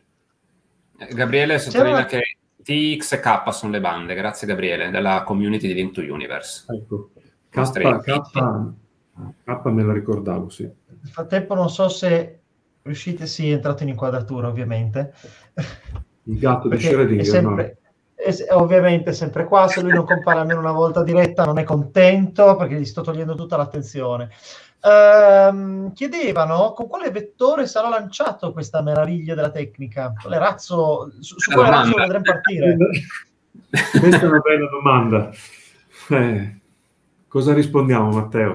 Cosa dici? Eh, dipende, dipende, soprattutto quando verrà, sarà pronto Euclid. Perché... In che senso? Beh, la data adesso è 2022, però ovviamente con la pandemia e tutto i ritardi sono sempre dietro l'angolo, eventuali problemi. Devono esserci sei mesi di ritardo anche, non, non, si sa esattamente. Queste sono domande molto sensibili, come si dice. Ma una possibilità era la Soyuz, la vecchia Soyuz, l'altra è l'Ariane, eh, però c'erano tante cose da capire riguardanti le vibrazioni dell'Ariane e possibili co- rischi per gli strumenti, quindi diciamo che la Soyuz dovrebbe garantire quella stabilità che andrebbe bene, per... però se ci sarà un ritardo può darsi che si passi a un Ariane. Vediamo, eh, sono decisioni dei prossimi sei mesi più o meno. Chiedono che... problema anche per eh, Europa. Lorenzo, vai. No, dico, è stato un po' il è stato un po' il problema per Europa Clip perché non si capiva se... Cioè, no, scusate, que- quella, amer- quella, americana qual era delle due, tra Juice ed Europa Clipper? Ormai sto cominciando a incrociarmi. Mi sembra Europa Clipper, non sapevano se lanciarlo con il Falcon Heavy, con la Starship o con l'SLS perché erano, erano obbligati a doverlo lanciare con l'SLS per decreto del, della Camera, ma in realtà SLS non sarà pronto per tempo, quindi lì gli ingegneri sono lì che si dicono, sì, ma per quale, per quale razzo dobbiamo prepararlo questa benedetta missione? Vai, vai Filippo. Eh, sì, un'altra domanda carina. Eh, che tipo di test si possono fare da terra per verificare che i sistemi di mappatura della missione Euclid siano efficaci? Vabbè, una bella domanda questa. Si possono, per esempio, osservare i tipi di galassie che Euclid non osserverà, perché per esempio la spettroscopia di Euclid sarà focalizzata su galassie che stanno formando stelle che hanno forti righe di emissione negli spettri e quindi questo potrebbe introdurre dei cosiddetti bias, cioè de- degli effetti sistematici nell'interpretazione delle osservazioni. Il vantaggio è che eh, da Terra si possono osservare facilmente altri tipi di galassie, come per esempio le galassie ellittiche, dopo si potrà confrontare praticamente la struttura a grande scala determinata dalle galassie ellittiche rispetto alle, al- alle altre galassie che formano stelle e vedere se le cose tornano oppure interpretare anche una diversa evoluzione delle galassie rispetto alla materia oscura che le, le, le, contiene. Quindi sono soprattutto osservazioni che si possono fare complementari da terra. Inf- infatti se, eh, eh ci sono proprio progetti anche di collaborazione no, con osservatori eh, qua sulla Terra, quindi ci sarà questa eh, sinergia tra dati terrestri e dati spaziali, no? Sì, sì, eh, questa è un'altra grandissima novità, cioè Euclid è la prima missione che diciamo, beneficerà così tanto delle sinergie con osservazioni da Terra rispetto ad altre missioni del passato e viceversa, ovviamente. Ehm, c'era più di una domanda sull'orbita del telescopio, perché noi abbiamo detto che starà a un milione e mezzo di chilometri, però eh, non abbiamo specificato no? in che modo. Sì, viene, viene diciamo, parcheggiata, tra virgolette, in L2, che è uno dei punti lagrangiani dove vengono anche, anche James Webb verrà mandato là e la maggior parte dei telescopi spaziali moderni vengono inviati eh, là, quindi è un'orbita intorno ad L2 che garantisce una elevatissima stabilità dell'orbita e anche una, diciamo, un ambiente molto protetto rispetto ai rischi eh, di, di, radiazione o anche collisioni che ci possono essere in altre orbite, proprio perché è una missione di altissima precisione che richiede una, diciamo, una protezione del sistema degli strumenti eh, di massimo livello. Però se succede qualcosa non si può mandare nessuna forma nutrizione. Ah no, quello no. Purtroppo. Eh, tra l'altro non una delle si dicono certe cose. non si, si, non si pensano neppure. Qualcuno chiedeva nei commenti se hanno montato lo specchio in modo giusto stavolta. Basta! speriamo, speriamo di sì. Tra l'altro una delle cose più complesse no, di, di, Euclid è proprio il fatto che essendo uno strumento che ha anche una parte infrarossa eh, è molto delicata dal punto di vista delle temperature che deve mantenere, con rimanere molto fredde per quanto riguarda la, la strumentazione, quindi che è anche la, st- la, stessa problematica che avrà il James Webb perché osserverà nell'infrarosso. Anco, ancora di più James Webb. Di più. Quindi insomma c'è tutta una questione di delicatezza de- de- delle strumentazioni di bordo che, che, che è molto molto sensibile. Sì, e quindi un'orbita in L2 garantisce il meglio da questo punto di vista. Ecco. Eh, volevo rispondere a una domanda che, mi, che era rivolta a me di cosa mi occupo io a, a, sì. a, a ESAC a Madrid, allo European Space Astronomy Center. Molto in breve, non voglio rubare tempo ad Andrea che sono già, sono già un'ora e 40 di diretta. Eh, Andrea prima ha parlato di, di, dei primi dati che sono quick look, no? Io eh, mi occupo di, di, realizzare tutta quella pipeline che eh, va sotto il nome di Quick Look Analysis Software, che è sostanzialmente eh, un primo check immediato dei dati, immediato stiamo parlando di entro 48 ore più o meno, quindi tutti i dati che arriveranno dal satellite in un determinato giorno, eh, la mia pipeline dovrà analizzarli entro 48 ore. Eh, si parla sia di dati scientifici, quindi le immagini vere e proprie con, con le galassie e le stelle, sia di tutti i dati di calibrazione, quindi tutti i dark, i flat, i bias che arrivano da VIS e da NISP, anche se non entrambi fanno le, le, le stesse calibrazioni, e anche tutta la telemetria, quindi le temperature degli strumenti, eh, il puntamento del telescopio, cioè stiamo veramente puntando nella zona eh, che vogliamo vedere, quindi un'analisi di tutti questi dati ehm, rapida, eh, quindi non è una vera e propria riduzione completa dei dati che avverrà nelle fasi successive, eh, nei passaggi successivi, diciamo, del, eh, della missione, però un'analisi, un'analisi appunto eh, preliminare tutti i dati per vedere che tutti i parametri stiano all'interno dei requisiti richiesti. Quindi eh, stiamo osservando questa regione di cielo, ci aspettiamo tot galassie, devono essere almeno dentro un range eh, il flat deve avere un livello di luminosità entro un determinato limite, tutta questa serie di, di, di, controlli per vedere che sia tutto effettivamente a posto. Nel caso in cui qualcosa non andasse bene, dovremmo analizzare più in dettaglio quei dati problematici e in caso contattare ad esempio il centro di controllo che sta in Germania o vedere se possiamo attivare noi delle procedure di, tra virgolette, di emergenza per, per, per vedere di risolvere l'eventuale eh, problema. Quindi questo è uno dei passaggi, dei primi passaggi fondamentali che dovranno fare i dati una volta che arrivano eh, a terra, proprio per, eh, per, vedere la salute del telescopio in generale e dei dati che stanno arrivando. Quindi mi occupo di questo e anche di interagisco con il team dei, di, di, chi Andrea prima ha fatto vedere le immagini simulate di VIS e NISP, eh, io lavoro proprio su quelle immagini su, su quei, su quei software che producono quelle immagini simulate, eh, li sto testando parallelamente a, al lavoro di sviluppare questo, questo, codice, che chiaramente non abbiamo immagini reali adesso perché il telescopio non è lanciato, quindi necessariamente questa è forse anche una delle difficoltà principali, no Andrea, rispetto a una, eh, un telescopio terrestre. Il telescopio terrestre lo puoi testare eh, certo. direttamente osservando veramente oggetti celesti. Questa è una cosa che non puoi fare con, con un telescopio spaziale, quindi devi adattarti su, su, dati simulati o al massimo di laboratorio. Sì, sì. Infatti, infatti, è fondamentale perché questo ci consente di arrivare, di essere pronti quando arriveranno i veri dati. Tu, se uno ha simulato bene i dati, sì. Euclid dovrebbe essere prontissimo a produrre i risultati scientifici poi.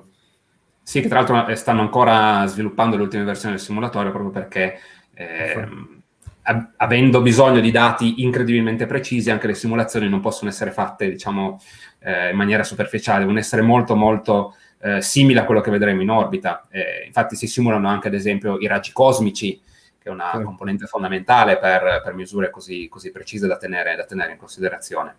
Quindi eh, ci, ci sono tutte queste cose, insomma, importanti. Chiedevano se sono assicurati il razzo e il telescopio. Io queste cose non le so.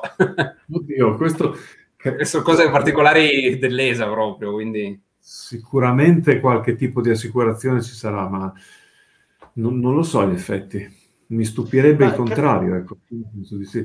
In, merito a questo posso forse aggiungere qualcosa io, perché appunto dicevate, si diceva che non, non, si sa ancora neanche quale sarà il vettore di lancio di, di Euclid, almeno non è definitiva la decisione, quindi finché non si sa il vettore non si sa anche la probabilità di sicurezza del lanciatore, eccetera, e quindi anche la, la, la stima d'assicurazione non è fattibile, cioè banalmente come eh, assicurare la vostra macchina prima che scegliate il modello, l'assicurazione dice sì, ma che macchina è?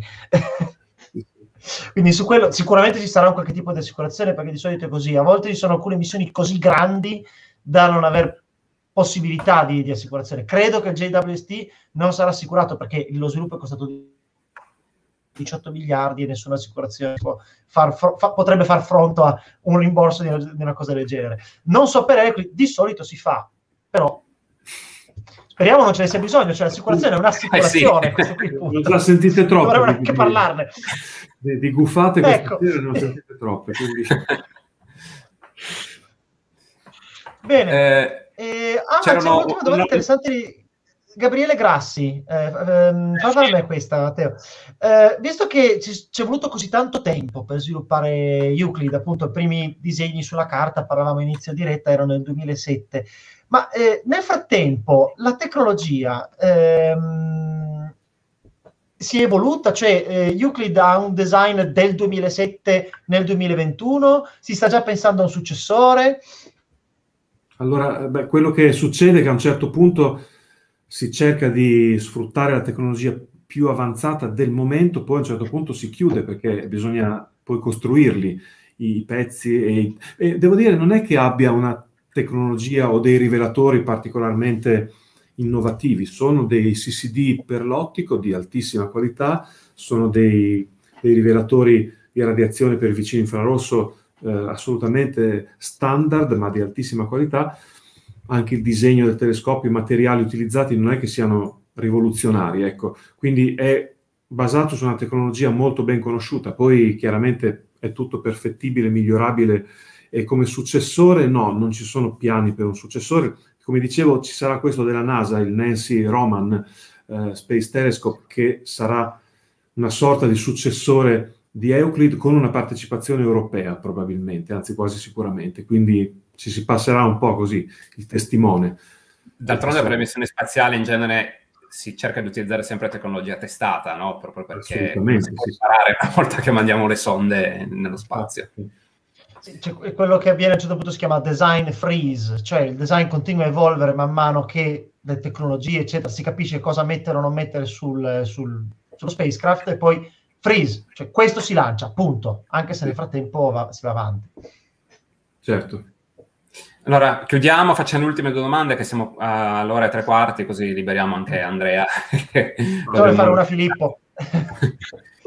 sì, facciamo, prendiamo una domanda a Filippo. Io ti faccio quella di Gabriele Bertinelli, ehm, appunto sempre della community Link to Universe, eh, che chiede quali sono i metodi di controllo per verificare che le simulazioni siano il più affidabili possibile. Effettivamente, come si potrebbe sapere che con una simulazione sta effettivamente simulando quello che andremo a vedere.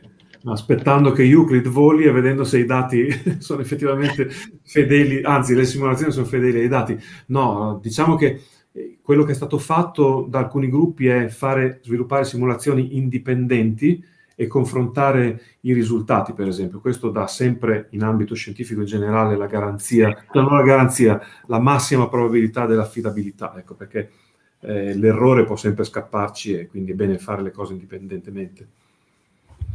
E, e, tanto che ci si lavora, ci sono delle variabili come anche, so, l'impatto dei raggi cosmici non è del tutto ancora... È vero l'hanno cambiato nelle varie versioni dei simulatori, ad esempio. E... Poi dipenderà dallo, dal ciclo di attività, dallo stato di attività del Sole, anche quindi produzione di raggi cosmici da, solari che potrebbero influenzare. Quindi, insomma, ci sono delle incognite. Che tra l'altro Euclid sarà operativo proprio quando il Sole tornerà nel, nel eh, nuovo appunto. ciclo, quindi proprio perfetto. Speriamo. Filippo, vai tu con l'ultima? Eh, Quella di al... Danilo. Eh, leggo, sì, una, anche quella l'avevo, l'avevo addocchiata. Eh, leggo la domanda. Il prof Cimatti ha detto che una volta che saranno raccolti i dati, questi saranno elaborati per realizzare una mappa 3D. Eh, sarà possibile navigare in questa mappa dal momento che ciò che osserviamo oggi è in momenti diversi del passato, cioè nel senso distanze diverse corrispondono a tempi cosmici diversi. Eh, la mappa risultante simulerà la posizione dello stato della materia tra virgolette, attuali? Cioè una... No, un... no, no, potrà, potrà, dunque sì, si potrà navigare all'interno scegliendo il tempo cosmico a cui eh, ci si vuole riferire, quindi io non so, voglio vedere com'era la distribuzione 7 miliardi di anni fa, vado a scegliere i dati eh, che corrispondono a distanze, cioè sì, vado a scegliere i dati in, quella, in quell'intervallo di età di interesse e così via. Quindi è come appunto avere la possibilità di selezionare diversi tempi, come avere un film, un filmato, non so, io sono vecchio, parlo di un film, adesso, una, una sequenza di immagini eh, a tempi diversi, quindi selezionando quello che ti interessa osservare di una certa epoca cosmica.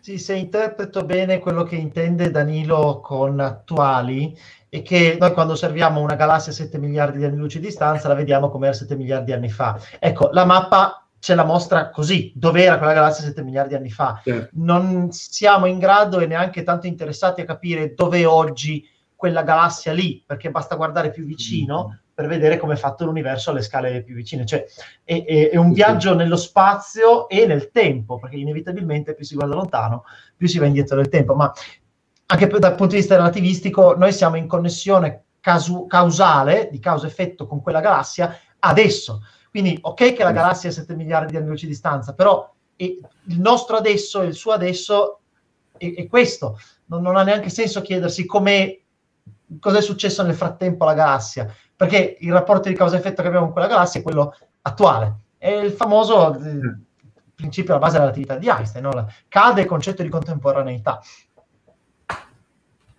Esatto.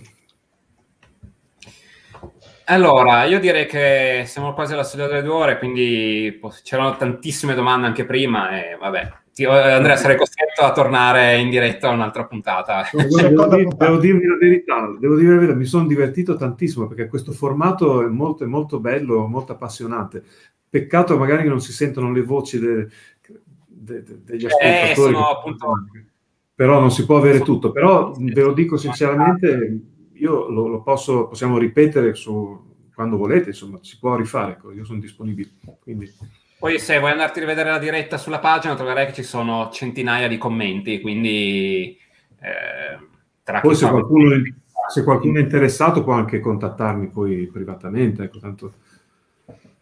Abbiamo ricordato Ricordo anche che abbiamo fatto delle dirette tematiche dedicate alla materia energia scura e alle lenti gravitazionali, eh, una a luglio di quest'anno e una a ottobre, se non ricordo male i mesi, che potete ritrovare salvate sul nostro canale YouTube e sulla pagina Facebook. Quindi se ci state seguendo da questi mezzi, mi raccomando, YouTube iscrivetevi e schiacciate sulla campanella e Facebook mettete il follow alla pagina e consigliate ai vostri amici.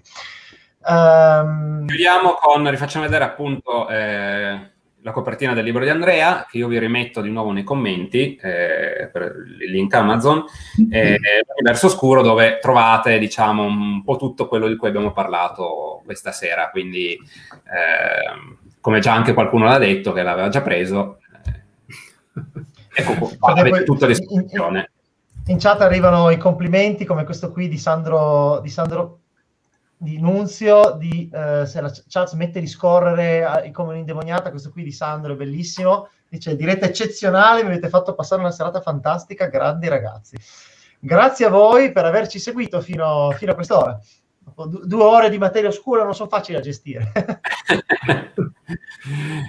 Eh, grazie per averci seguito. Eh, appunto per Andrea, Andrea, magari eh, adesso mandiamo la sigla di chiusura, tu rimani connesso, così ci salutiamo poi offline. Perfetto, eh, Quindi grazie infinite per, per, la diretta.